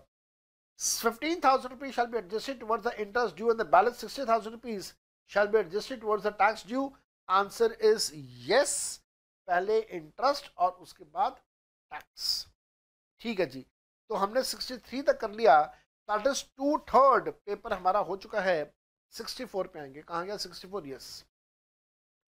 An SSC can file an application for rectification of mistakes under section 154 of the act when it is 154 is the mistake apparent from the record जो बिल्कुल सामने दिखाई दे रहा है गलती वो है उसके बारे में बात हो रही है when it is point one a mistake of a fact yes तारीख गलत लिख दी फैक्ट है mistake of a law law का मिस्टेक है तो आप अपील नहीं कर सकते glaring obvious and apparent from the record answer is yes a decision on debatable point of view the answer is no तो भाई यहाँ पे हमारे पास answer will be one and three that is A is are correct answer one and three the time limit for completion of assessment and reassessment under 143 and 144 shall be, बेटा, जो time limit हमें given है assessment complete करने का, वो given है section 153 sub section one के अंदर। और ये टाइम लिमिट है टू इयर्स टू इयर्स का मतलब होता है ट्वेंटी फोर मंथ्स तो answer is A sixty five का। What are the items which are taken into the by the assessing officer A O while processing the return at the centralise processing that is C P C C P C पे return processing करते समय वो किस चीज़ का ध्यान रखेगा? वो ध्यान रखेगा लेट फ़ीस पे हुआ नहीं हुआ इंटरेस्ट पे हुआ नहीं हुआ टैक्स पे हुआ या नहीं हुआ, सब बातों का ध्यान रखा जाएगा। तो पॉइंट ए टोटल इनकम और loss after making adjustments for an arithmetical error in the return? हाँ जी बिल्कुल आ, वो अर्थमेटिकल एरर्स को ठीक करेगा। एंड इनकरेक्ट क्लेम हाँ इनकरेक्ट क्लेम को भी एडजस्ट करेगा। जैसे मान लीजिए इनकरेक्ट क्लेम का मतलब मैं आपको देता हूँ। एट्टी सी में मैक्सिमम डिडक्शन क्लेम कर सकते हैं एक लाख पचास हज़ार रुपये का लेकिन उसने दो लाख का क्लेम कर लिया। तो this is called incorrect claim point C the fees payable under two thirty four F two thirty four F बिल्कुल नया कंसेप्ट आया है, जहाँ पे लेट फ़ीस की बात होती है, पाँच हज़ार, दस हज़ार, एक हज़ार depending upon dates and level of income तो यहाँ पे आंसर है डी इन सारी बातों का ख्याल रखा जाएगा प्रोसेसिंग करते समय। Sixty seven the maximum penalty leviable for under reporting of income which result from the misreporting आपने मिस रिपोर्टिंग किया, जिसकी वजह से अंडर रिपोर्टिंग हो गया सेक्शन यूज़ होगा। सेक्शन 270 ए पहले होता था 271 271 को खत्म करके 270 ए इंट्रोड्यूस किया आज से दो साल पहले। इस केस में अगर अंडर रिपोर्टिंग हो का केस है तो 200 परसेंट का पेनल्टी अप्लाई हो जाता है। तो 67 तक हम लोगों ने कर लिया 68 पे आती है the rationale behind the power of revision of orders prejudicial to the interest of revenue conferred to the Commissioner of Income Tax under 263 of the Income Tax Act is that. Examiner ये कह रहा है कि 263 के अंदर जो commissioner को power दी गई है, उस कमिश्नर को पावर को देने के पीछे का ऑब्जेक्टिव या रीजनिंग क्या है? तो ध्यान देना, इसके पीछे की रीजनिंग ये है कि अगर एसएससी केस जीत जाता है अगर असेसिंग ऑफिसर के सामने केस जाता है और केस वो जीत जाता है या असेसिंग ऑफिसर उसके फेवर में बात करता है तो department commissioner of income tax appeals के पास जाके अपील नहीं कर सकता। Commissioner of income tax appeals के पास अपील सिर्फ़ एसएससी कर सकता है डिपार्टमेंट नहीं कर सकता है। इस वजह से कमिश्नर को टू के अंदर पावर दी गई है कि वो रिविजन कर सकता है। ये इसके पीछे का ऑब्जेक्टिव ये इसके पीछे का थॉट प्रोसेस है। तो भाई मेरे हिसाब से answer should be answer should be D answer should be C C the department has no right the department has no right of an appeal answer is C 69 पे आ रही है। पटना हाई कोर्ट ये बड़ा अजीब सा क्वेश्चन था। मेरे को तो आज तक नहीं समझ रहा क्यों पूछा इन्होंने। The Patna high court following the decision laid on by the Bombay high court in the case of Mahindra centered products limited held that to claim a special deduction under 80J अब ये 80J कहाँ से आ गया? भाई 80J section जो है ये 1996 में ओमिट हो चुका है। It has been omitted in 1996 way back आप जितने भी स्टूडेंट्स यहाँ पे आ, सुन रहे हैं या एग्ज़ाम दिया था आपने शायद 1996 तक तो आपका बर्थ भी नहीं हुआ था। शायद हो भी चुका होगा, बड़े छोटे रहेंगे एक या दो साल के। तो 1996 में 80 जे ओमिट हो गया। 80 जे से रिलेटेड क्वेश्चन आज 2018 में क्यों पूछा जा रहा है? भाई, मेरे को तो ये क्वेश्चन समझ में नहीं आया तो मैं इसे अटेम्प्ट नहीं कर रहा। I am a human being मेरे को कोई चीज़ नहीं समझ आई तो मैंने कह दिया नहीं समझ आया। मैं उसको छोड़ूँगा और मैं यहाँ से आगे चलूँगा। क्वेश्चन में सेवेंटी पे आ जाएगा इनकम टैक्स का आखिरी क्वेश्चन है क्वेश्चन में seventy The provisions of deemed dividend under Section 222E of the Income Tax Act 61 in respect of advance and losses, loans to the shareholder or payment on behalf of the shareholder or any payment for the individual benefit of the shareholder are applicable to. 222E apply होता है private companies को या closely held companies को तो answer should be A public limited listed company गलत public limited unlisted company गलत a closely held company answer is yes answer is C closely held company तो मेरे बेटा, यहाँ जाके इनकम टैक्स का एक मुश्किल एरिया जो है, वो तो कंप्लीट हो गया। जीएसटी का एरिया अब हम लोग स्टार्ट करेंगे। GST is comparatively easy GST is comparatively easy ऐसा नहीं है जैसा वो पहला मुश्किल पार्ट आया था। अब ये भी उतना ही मुश्किल होगा। नहीं, ये कंपैरेटिवली इजी है। B part relates to GST comparatively it is easy ध्यान से पड़ेगा the maximum validity period of certificate of registration which is issued to casual and non-taxable person बेटा सेक्शन 27 के हिसाब से 90 डेज़ तक इनका रजिस्ट्रेशन वैलिड रहता है 90 डेज़ के बाद एक्सटेंड किया जा सकता है 90 डेज़ के लिए तो 90 plus 90 is total of 180 is a maximum time period तो answer is 180 B 72 the quantum of the quantum of punishment where the person convicted of an offence under section 132.2 of the CGST Act 2017 and again convicted of an offence under the same section भाई एक बार गलती करी दूसरी बार दोबारा गलती करी तो maximum पाँच साल की जेल आपको हो सकती है तो पाँच साल की जेल साथ में फाइन आपको लगाया जा सकता है सेक्शन 132 के हिसाब से नेक्स्ट क्वेश्चन नंबर कौन सा आएगा जी? Seventy three the validity period specified for an e way bill अरे भाई ई वे बिल तो नया कंसेप्ट था, जो कि रूल 138 का कंसेप्ट था.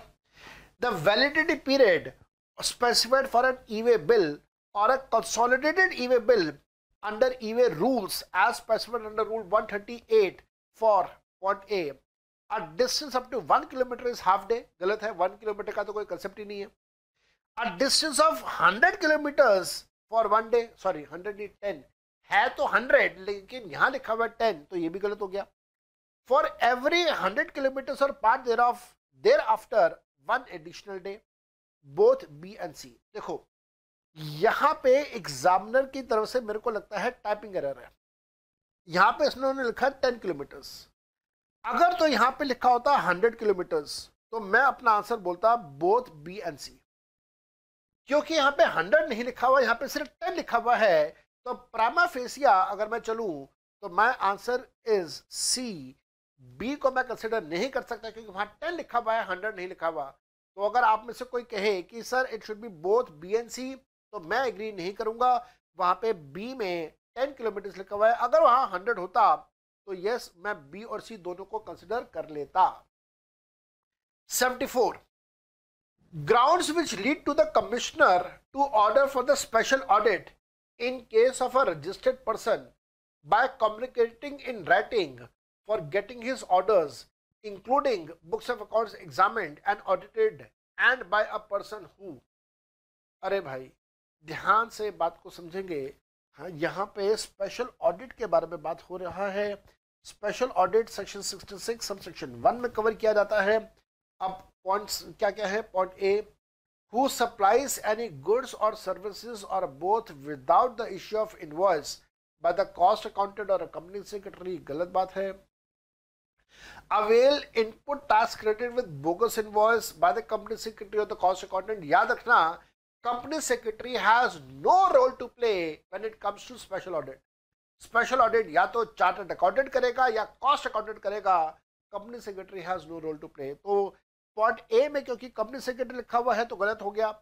पॉइंट बी में कंपनी सेक्रेटरी लिखा हुआ है तो वो भी गलत हो गया। पॉइंट डी में नन ऑफ़ द लिखा है, ये भी चेक कर लेते हैं। पॉइंट सी पढ़ते हैं पहले। Has not correctly declare the value of the credit availed is not within the normal limits by a chartered accountant or cost audit.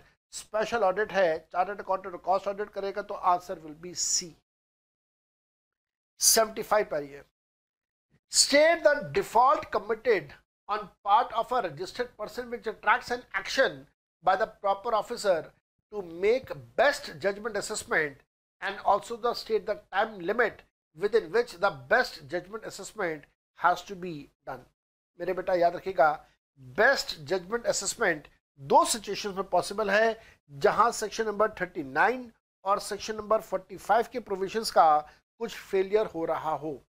तो दो केसेस हैं बेस्ट जजमेंट असेसमेंट के सेक्शन 39 में भी हो सकता है 45 में भी ये गड़बड़ हो सकती है। तो यहाँ पे आंसर जो आएगा, वो होगा point A furnishes inaccurate data in the return within two years and within two years from the due date nahi fails or files general return under section 39 and within 5 years from the due date of annual return yes 39 aa gaya 45 aa gaya so my answer will be my answer will be d both b and c 39 and 45 दोनों section में apply होता है best judgement ठीक है जी उसके बाद आइए क्वेश्चन नंबर सेवेंटी सिक्स ये भी क्वेश्चन मुश्किल था सर जो सेवेंटी फाइव भी क्या ये मुश्किल था आसान नहीं था नेक्स्ट सेवेंटी सिक्स पे आ रही है under section fifty one fifty one याद रखना फिफ्टी वन और fifty two T D S और टी सी एस के सेक्शन हैं। तो यहाँ पे टी डी एस की बात होती है।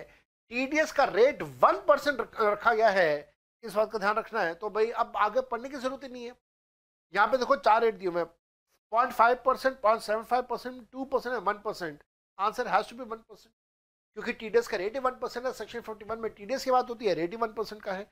चलिए, पूरा क्वेश्चन पढ़ने की ज़रूरत ही नहीं अब हमें, आगे चलते हैं। Seventy seven who is authorized under integrated goods and services tax act to levy the tax? IGST में टैक्स लगाने की पावर सेंट्रल गवर्नमेंट के पास है पार्लियामेंट के पास है स्टेट नहीं लगा सकता यूनियन टेरिटरी नहीं लगा सकता। ठीक 78 और एक बात कमाल की बताऊँ मैं आपको। जो आईजीएसटी है this is a concept which is unique only to India पूरे संसार में जितने भी देश हैं जो जीएसटी अप्लाई कर रहे हैं, उनमें से कोई भी देश आईजीएसटी का कंसेप्ट फॉलो नहीं कर रहा है। आईजीएसटी का concept is being followed only and only in India ये बात सीख लो, समझ लो, बड़े काम की बात है, कभी ना कभार काम आएगी। क्वेश्चन 78 पे आ रहे हैं, हम लोग क्या कहते हैं 78 state which state which shall be taken as an effective date of registration अरे भाई रजिस्ट्रेशन की तारीख क्या मानी जाती है? अगर 30 डेज़ के अंदर अंदर एप्लीकेशन दे दिया तो फिर जिस दिन आपका टर्नओवर क्रॉस हुआ था, वो दिन। जिस दिन अगर आपने 30 डेज़ के अंदर अंदर रजिस्ट्रेशन नहीं एप्लीकेशन नहीं दिया रजिस्ट्रेशन के लिए तो जब रजिस्ट्रेशन आपको मिलेगा, वो दिन आपका डेट ऑफ़ रजिस्ट्रेशन बन जाता है। इतनी सिंपल सी बात है। चलो, पढ़ लेते हैं इसको एक बार। As an effective date of registration under C G S T act two thousand seventeen where the aggregate turnover of mother company engaged in supply of taxable services in the state of Rajasthan exceeds 20 lakh rupees on 25th September 2017. Application for registration was filed on nineteen October 2017 मेरे बेटा, याद रखिएगा, यहाँ पे उसने within thirty days अपना application submit कर दिया है और क्योंकि विद इन थर्टी डेज़ उसने अपना एप्लीकेशन सबमिट कर दिया है, इस वजह से जब सर्टिफिकेट उसको मिलेगा तो वो ट्वेंटी फिफ्थ सेप्टेम्बर से मिलेगा। दैट मीन्स जिस दिन उसका लिमिट ट्वेंटी लाख क्रॉस हो गया था। क्वेश्चन नंबर सेवेंटी नाइन पे आ रहे हैं। The consumer welfare fund consumer welfare fund ये क्वेश्चन क्यों पूछा एग्जामिनर ने? मेरे को तो नहीं समझ आया। मैं इसे स्किप करूँगा। तो ये दूसरा क्वेश्चन है जो मैं स्किप कर रहा हूँ। और क्वेश्चन एट्टी पे जाएँगे। The available balance of input tax credit in the electronic ledger of the registered person on account of union territory tax shall be utilized as per section 9 of UTGST Act 2017 याद रखना UT GST का जो tax है, वो पहले आप UT GST में ही एडजस्ट करेंगे और उसके बाद अगर आप ज़रूरत पड़े तो फिर आप उसे आईटी जीएसटी में एडजस्ट कर सकते हैं और C G S T S G S T में एस जी एस टी में कभी भी एडजस्ट नहीं होगा। So S G S T में तो हो भी नहीं सकता। तो answer will be first it will be adjusted against union territory tax UT G S T yes और उसके बाद अगर कुछ है तो फिर आप उसे इंटीग्रेटेड टैक्स या सी जी में आप एडजस्ट कर सकते हैं। और कोई आंसर यहाँ पे बन ही नहीं रहा। First payment toward central tax integrated tax UTGST है। यूटीजीएसटी है तो पहले यूटीजीएसटी से ही एडजस्ट होगा। नेक्स्ट 81 पे आ रही है। हालाँकि ऑप्शंस यहाँ पे गलत है 80 में। Options could have been better but then चलिए कोई बात नहीं। Find out from the following who will be the member of GST Council on behalf of each of the state. State के बिहार पे जीएसटी काउंसिल में कौन आ सकता है? या फाइनेंस मिनिस्टर आ सकता है? या फिर वो स्टेट का कोई और minister which who has been appointed specially for this purpose तो चीफ मिनिस्टर नहीं आएगा होम मिनिस्टर नहीं आएगा. The minister in charge of finance और टैक्सेशन और any other minister nominated by the state government the chief secretary of the state भी नहीं आ सकता है तो आंसर इज़ सी 82 पे आ रही है। 82 कहता है the S S is required to mandatorily mentioned harmonised system of nomenclature HSN code, or service accounting code on the tax invoice of the product or services supplied under GST. मेरे बेटा, ध्यान देना, अगर तो टर्नओवर अगर तो इनका turnover is less than पाँच करोड़ तो दो यूनिट्स देने हैं। अगर इनका टर्नओवर इज़ ग्रेटर देन पाँच करोड़ तो फिर चार डिजिट्स देने हैं। इतनी बात तो हम लोगों को याद अच्छे से। अभी क्या कहता है? हैविंग टर्नओवर ऑफ़ दो करोड़ गलत हैविंग टर्नओवर ऑफ़ तीन करोड़ गलत, चार करोड़ गलत तो आंसर इज़ पाँच। हैविंग टर्नओवर ऑफ़ पाँच करोड़ एंड अबव पाँच करोड़ से ज़्यादा है तो चार वाले देने हैं, पाँच करोड़ से कम है तो दो वाले देने हैं। अब इसने ये क्वेश्चन ऐसा क्यों पूछा है, समझ में नहीं आता। क्या इनका जवाब दें, क्या करें? चलो, कोई बात नहीं, आगे बढ़ते हैं। 83 पे आ जाते हैं। GST Council is being constituted for making the recommendations on the various issues related to policy making, formulation of principles, implementation of policy, etc. It is दस याद रखिएगा GST council is a supreme council supreme power ये एक constitutional body है जिसके पास ज़बरदस्त powers है that is we call it as an apex body apex is something ultimate the top पे जो होता है उसे अपेक्स कहते हैं हम लोग चलिए 84 फोर पे the exempt supply mean supply of goods and services और both which may be wholly exempt from tax under section 11 और under section 6 of the IGST act and it will include मेरे बेटा, याद रखिएगा, इसके अंदर हम लोग सब कुछ इंक्लूड कर लेते हैं। नॉन टैक्सीबल सप्लाई को इंक्लूड करते हैं ज़ीरो रेटेड को इंक्लूड करते हैं नील रेट वाले को भी इंक्लूड करते हैं। ऑब्वियस बात है कॉम्पनसेट सप्लाई को इंक्लूड नहीं करते। तो answer will be A one two and three तीनों को आपने इंक्लूड करना है। एट्टी फाइव पे आ रही है the exception to the general rule that normally the supply of goods and services is liable to pay tax on supply even if he does to collect tax from the customer that is recipient of goods और services shall be applicable where there are याद रखना, अगर receiver से आप tax नहीं charge कर रहे हैं जो सर्विस रिसीवर है सर्विस प्रोवाइडर है. The exception to the rule that normally the supplier हाँ यस अगर सप्लायर टैक्स चार्ज नहीं कर रहा है तो आरसीएम के हिसाब से जो रिसीवर है, उसको देना पड़ेगा जीएसटी सेक्शन नाइन इसके, इससे रिलेटेड है. लेकिन वो अभी तक डेफर हो चुका है बट उसके बावजूद इन्होंने यहाँ पे क्वेश्चन पूछा है जो कि मन दुखता है कि ऐसे क्वेश्चन क्यों पूछ रहे हैं, जो कि डेफर हो चुके हैं लॉ के अंदर। तो यहाँ पे लिखा हुआ है supply from unregistered dealer to the registered dealer section nine sub section four apply होता है। Yes specified services through e commerce operator इसका आंसर भी है यस तो भाई, ध्यान देना आंसर ए नहीं होगा, इसका आंसर होगा ए एंड सी दोनों। तो ई कॉमर्स और नाइन फोर दोनों के से रिलेटेड यहाँ पे कंसेप्ट है। ये क्वेश्चन नहीं आना चाहिए था एग्ज़ाम के अंदर क्योंकि कंसेप्ट डेफर हो चुके हैं। जो डेफरमेंट है, वो क्यों पूछ रहा है examiner this is out of my thinking out of my thought process Mr. S is a manufacturer of medicine whose turnover for the financial year 1718 was 70 lakh rupees and has opted to pay tax under GST as per the composition scheme from 1st of April 2018. His turnover crosses 1 crore on 30th November 2018. तो एक करोड़ से कम था composition की follow कर रहा था। अब वो एक करोड़ से ज़्यादा का उसका टर्नओवर हो गया तो क्या वो कॉम्पनसेशन स्कीम कंटिन्यू कर पाएगा? आंसर इज़ नो जिस दिन उसका टर्नओवर एक करोड़ क्रॉस कर गया, उस दिन से उसका कॉम्पोजिशन स्कीम बंद हो जाएगा। तो पढ़ते हैं क्या लिखा हुआ है।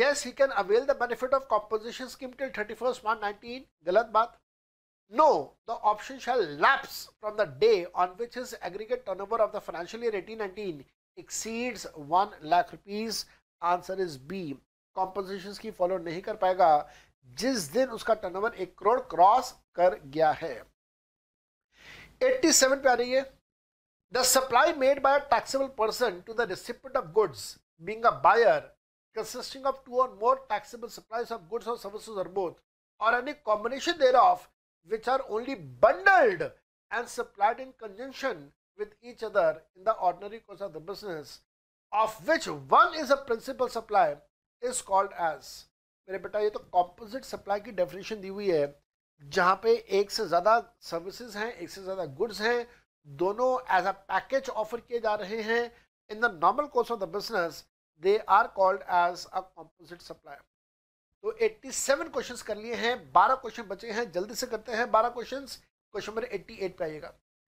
A taxable person whose registration has been surrendered और cancelled is required to file the return within three months of the date of the cancellation और the date of cancellation order whichever is later in form number final return के बारे में बात कर रहा है तो जो फाइनल रिटर्न है उसके लिए G S T R ten apply हो जाता है। एट्टी नाइन पे आ जाइएगा। The payment of tax by the electronic operator who does not have a physical presence in the taxable territory in India is to be made by अगर उसकी physical presence नहीं है तो वो कोई व्यक्ति अपॉइंट कर देगा, वो टैक्स पे करेगा। या फिर वो खुद अगर टैक्स पे करना चाहता है तो वो खुद भी टैक्स पे कर सकता है। तो answer will be A and B तो answer will be D A and B दोनों आ गया तो answer will be D ninetieth the time of supply where goods और services are both happen supplied in a situation where the invoice issued before the change in the rate of tax but payment received after the change in rate of tax as per section fourteen low ji change of rate ये वाला question C A के students के exam में नहीं है syllabus में नहीं है सी एस के सिलेबस में है तो डेट ऑफ़ इनवॉइस इसका आंसर बन जाता है। जिस दिन इनवॉइस इशू हुआ था, उस दिन का रेट हम लोग यहाँ पे एक्सेप्ट कर लेते हैं। 91 पे आ जाइए। State the base year 91 state the base year and the projected growth rate for the purpose of calculating compensation compensation cess में ये वाली बात लिखी गई है। Compensation सेस से रिलेटेड ये बात लिखी गई है। कि जो ग्रोथ रेट है वो 14 परसेंट माना जाएगा और फाइनेंशियल ईयर होगा 15 16 का। दैट मीन्स जस्ट जिस ईयर में जीएसटी अप्लाई हुआ, उससे पिछले वाले साल का बेस ईयर और 14 परसेंट की ग्रोथ रेट अगर स्टेट को नुकसान हो रहा है तो कंपनसेशन सेस का पैसा यूज़ करके कब स्टेट को कंपनसेट किया जाएगा। आज तक एक भी स्टेट को जीएसटी में लॉस नहीं हुआ। याद रखना। 92 पे आ रही है the limit of nautical miles बात ही खत्म हो गई, पूरा पढ़ने की ज़रूरत नहीं है। नॉटिकल माइल्स है तो 12 नॉटिकल माइल्स का कंसेप्ट अप्लाई होता है। 93 which of the following called union territories has been covered under union territory goods and services tax 2017 अब ये मेरे को नहीं समझ रहा है। ये एग्जामिनर क्या कहना क्या चाह रहा है इसमें? यहाँ पे एज है या हैज़ है? ये क्या कहना चाह रहा है एग्जामिनर मेरे को बिल्कुल नहीं समझ आया। और साथ में ध्यान देना ऑप्शंस भी अजीब से हैं। अगर तो वो ये पूछ रहा है कि कौन कौन से यूनियन टेरिटरी को यूनियन टेरिटरी में कवर किया गया है? यूनियन टेरिटरी एक्ट में कवर किया गया है। तो आंसर ए भी होगा अंडमान निकोबार। आंसर बी भी होगा पुडुचेरी। आंसर सी भी होगा दमन द्वीप सबको कवर किया गया है। और यहाँ पे लिखा हुआ नन ऑफ़ द बफ तो ये गलत हो गया। या फिर यहाँ पे लिख देता ऑल ऑफ़ द बफ तो आंसर डी हो जाता। अच्छा अगर एग्जामिनर ये कह रहा है कि किसको कवर नहीं किया गया है? अगर वो ये कह रहा कि किसको कवर नहीं किया गया तो भाई आंसर पौंडिचेरी है क्योंकि पौंडिचेरी स्टेट की कैटेगरी में रखा गया है। तो एग्जामिनर क्या पूछ रहा है वो बिल्कुल समझ में नहीं आता। चलो आंसर फिर भी बी बोल देता हो पुडुचेरी याद रखिएगा Pondicherry and they have their own uh, states, they have their own elected governments. That is why Puducherry को स्टेट uh, की कैटेगरी में रखा जाएगा यूनियन टेरिटरी की कैटेगरी में नहीं रखा जाएगा। तो ये एक आंसर हो सकता है। बाकी क्वेश्चन बहुत अच्छे से समझ में नहीं आया था। 94 the subsidy given by the central government or state government while determining the value लो जी। वैल्यू ऑफ़ सप्लाई का क्वेश्चन आ गया सेक्शन नंबर 15 यहाँ पे हम लोग यूज़ करते हैं। सेक्शन 15 हमें बताता है कि वैल्यू कैलकुलेट करते समय सब्सिडीज को हम लोग कभी भी कंसिडर नहीं करते। अगर सब्सिडी ऑलरेडी लेस हो चुका है तो उसे हम लोग ऐड बैक कर देंगे। तो जरा देखते हैं क्या कहता है। Subsidies is to be included in the transaction value that is value of the supply गलत। Is just ignored and it there is no treatment गलत। Shall not be included in the transaction value बिल्कुल ठीक बात। Deducted from the transaction value अब देखो ये दोनों बातें सेम है। सी और डी दोनों बातें सेम ही तो लिख रहा है। लेस कर देना है, और दूसरे में लिख रहा है कि ऐड नहीं करना है, दोनों बातें सेम है भाई। तो आंसर सी और डी में से दोनों ही हो सकते हैं। मैं सी पे टिकमा कर रहा हूँ कि आपने कभी भी सब्सिडीज को वैल्यू में कंसिडर नहीं करना है। हालाँकि यहाँ पे कंपनी सेक्रेटरी इंस्टीट्यूट ने गलती कर दी है क्वेश्चन की डिज़ाइनिंग करने में। चलिए 95 पे आएँगे। The Patel of Surat Gujarat supplied goods to Patel of Mumbai Maharashtra तो इंटरस्टेट सप्लाई है आईजीएसटी लगेगा यहाँ पे। for rupees 1 lakh 20,000 rupees including the amount of GST but after adding 30% of margin on the cost. Patel is also a registered person. IGST rate is 18%. The amount of input tax credit that can be availed and the maximum time limit for which for availing such input tax credit by Patel of Mumbai, Patel of Mumbai, Maharashtra as per CGST Act will be तो मेरे बच्चे याद रखिएगा, जो maximum GST आप ले सकते हैं, वो 18 परसेंट का ले सकते हैं और विद इन वन ईयर ले सकते हैं। और विद इन वन ईयर जो आप लेंगे, वो कितना ले सकते हैं, वो पूरा का पूरा आई ले सकते हैं। तो वन ईयर के अंदर अंदर हो सकता है तो ऑप्शंस को ध्यान से देखिएगा। यहाँ लिखा है सिक्स मंथ जो कि गलत हो गया। यहाँ लिखा है नेक्स्ट क्वार्टर ये भी गलत हो गया। विद इन वन ईयर ये बिल्कुल ठीक है।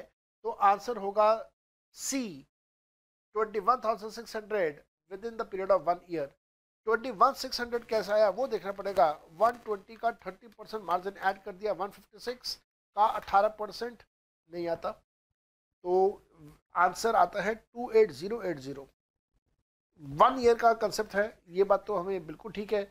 लेकिन two eight zero eight zero आ रहा है। गॉड नोज़ इक्कीस हज़ार छः सौ इन्होंने कैसे दिया हुआ है। एक्सक्लूडिंग जीएसटी मार्जिन ऐड कर दिया, बिल्कुल ठीक है। तो 120 का 30 परसेंट का मार्जिन ऐड करके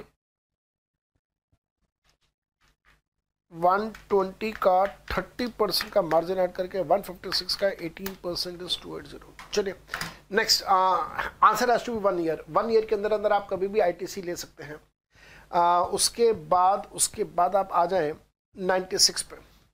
The stipulated time period the stipulated time period within which the input and capital goods sent to the job worker job worker की केस में बेटा मेन कैपिटल गुड्स के लिए तीन साल और इनपुट्स के लिए एक साल का टाइम पीरियड अप्लाई होता है तो answer has to be C one year and three years in case of inputs and capital goods respectively 97 The credit of tax paid on input services used by more than one supplier has to be distributed ये input service distributor ISD का concept लग रहा है और ISD के अंदर हम लोग जब भी इनपुट का डिस्ट्रीब्यूशन करते हैं, वो हमेशा टर्नओवर के बेसिस पर करते हैं।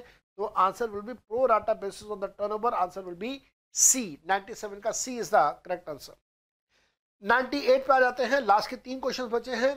The GST council for ensuring single interface has distributed the administrative control of the taxpayer of certain percentage with the central tax administration. जो सेंट्रल टैक्स एडमिनिस्ट्रेशन को दिया गया है, वो टेन परसेंट दिया गया है और वो वाले टेन परसेंट जिनका टर्नओवर डेढ़ करोड़ से कम का रहता है तो डेढ़ करोड़ और डेढ़ करोड़ से कम जिनका टर्नओवर है, उनका दस परसेंट सेंट्रल गवर्नमेंट को दिया गया है as an SSC control on the SSC 99 पे आ रहे हैं। अगेन एक मुश्किल क्वेश्चन था 98 99 the time duration for retention of accounts and records accounts and records को रिटेन करने का टाइम पीरियड 72 मंथ्स का होता है। यस दिया हुआ है 72 मंथ्स का। Last not the least last not the least question number hundred find out from the following who are persons not liable for registration under section number thirty किस किस ने अपना रजिस्ट्रेशन नहीं करवाना है, रजिस्ट्रेशन नहीं करवाना है, याद रखिएगा, रजिस्ट्रेशन नहीं करवाना, किसने? नॉन रेसिडेंट करवाना है पर्सन मेकिंग एग्जेप्टेड सप्लाई बिल्कुल ठीक है, और एग्रीकल्चरिस्ट तो आंसर बी और सी दोनों है डी इसका आंसर आ गया बी एंड सी बोथ इन्होंने अपना रजिस्ट्रेशन नहीं करवाना है। मेरे बेटा, यहाँ जाके हमने कंपनी सेक्रेटरी का ओल्ड सिलेबस का क्वेश्चन पेपर पूरा का पूरा डिस्कस कर लिया है। आ, कुछ क्वेश्चंस गलत थे जो कि कंपनी सेक्रेटरी इंस्टीट्यूट को ध्यान रखना चाहिए before putting up these kind of questions और बाकी क्वेश्चंस में कुछ टाइपिंग एरर्स थे जैसे जेड को टू लिखा हुआ था इनको हम लोग इग्नोर कर सकते हैं। मेरे बेटा जब न्यू सिलेबस का क्वेश्चन पेपर होगा उसके बाद मैं आपके साथ न्यू सिलेबस का भी डिस्कशन करने के लिए यहाँ पे आऊँगा। And till the time I meet you again bye bye and take very good care of yourself and आप हमारी क्लासेस परचेज करने के लिए अगली स्लाइड को ध्यान से देखिएगा. Till the time I meet you again bye bye and good take very good care of yourself bye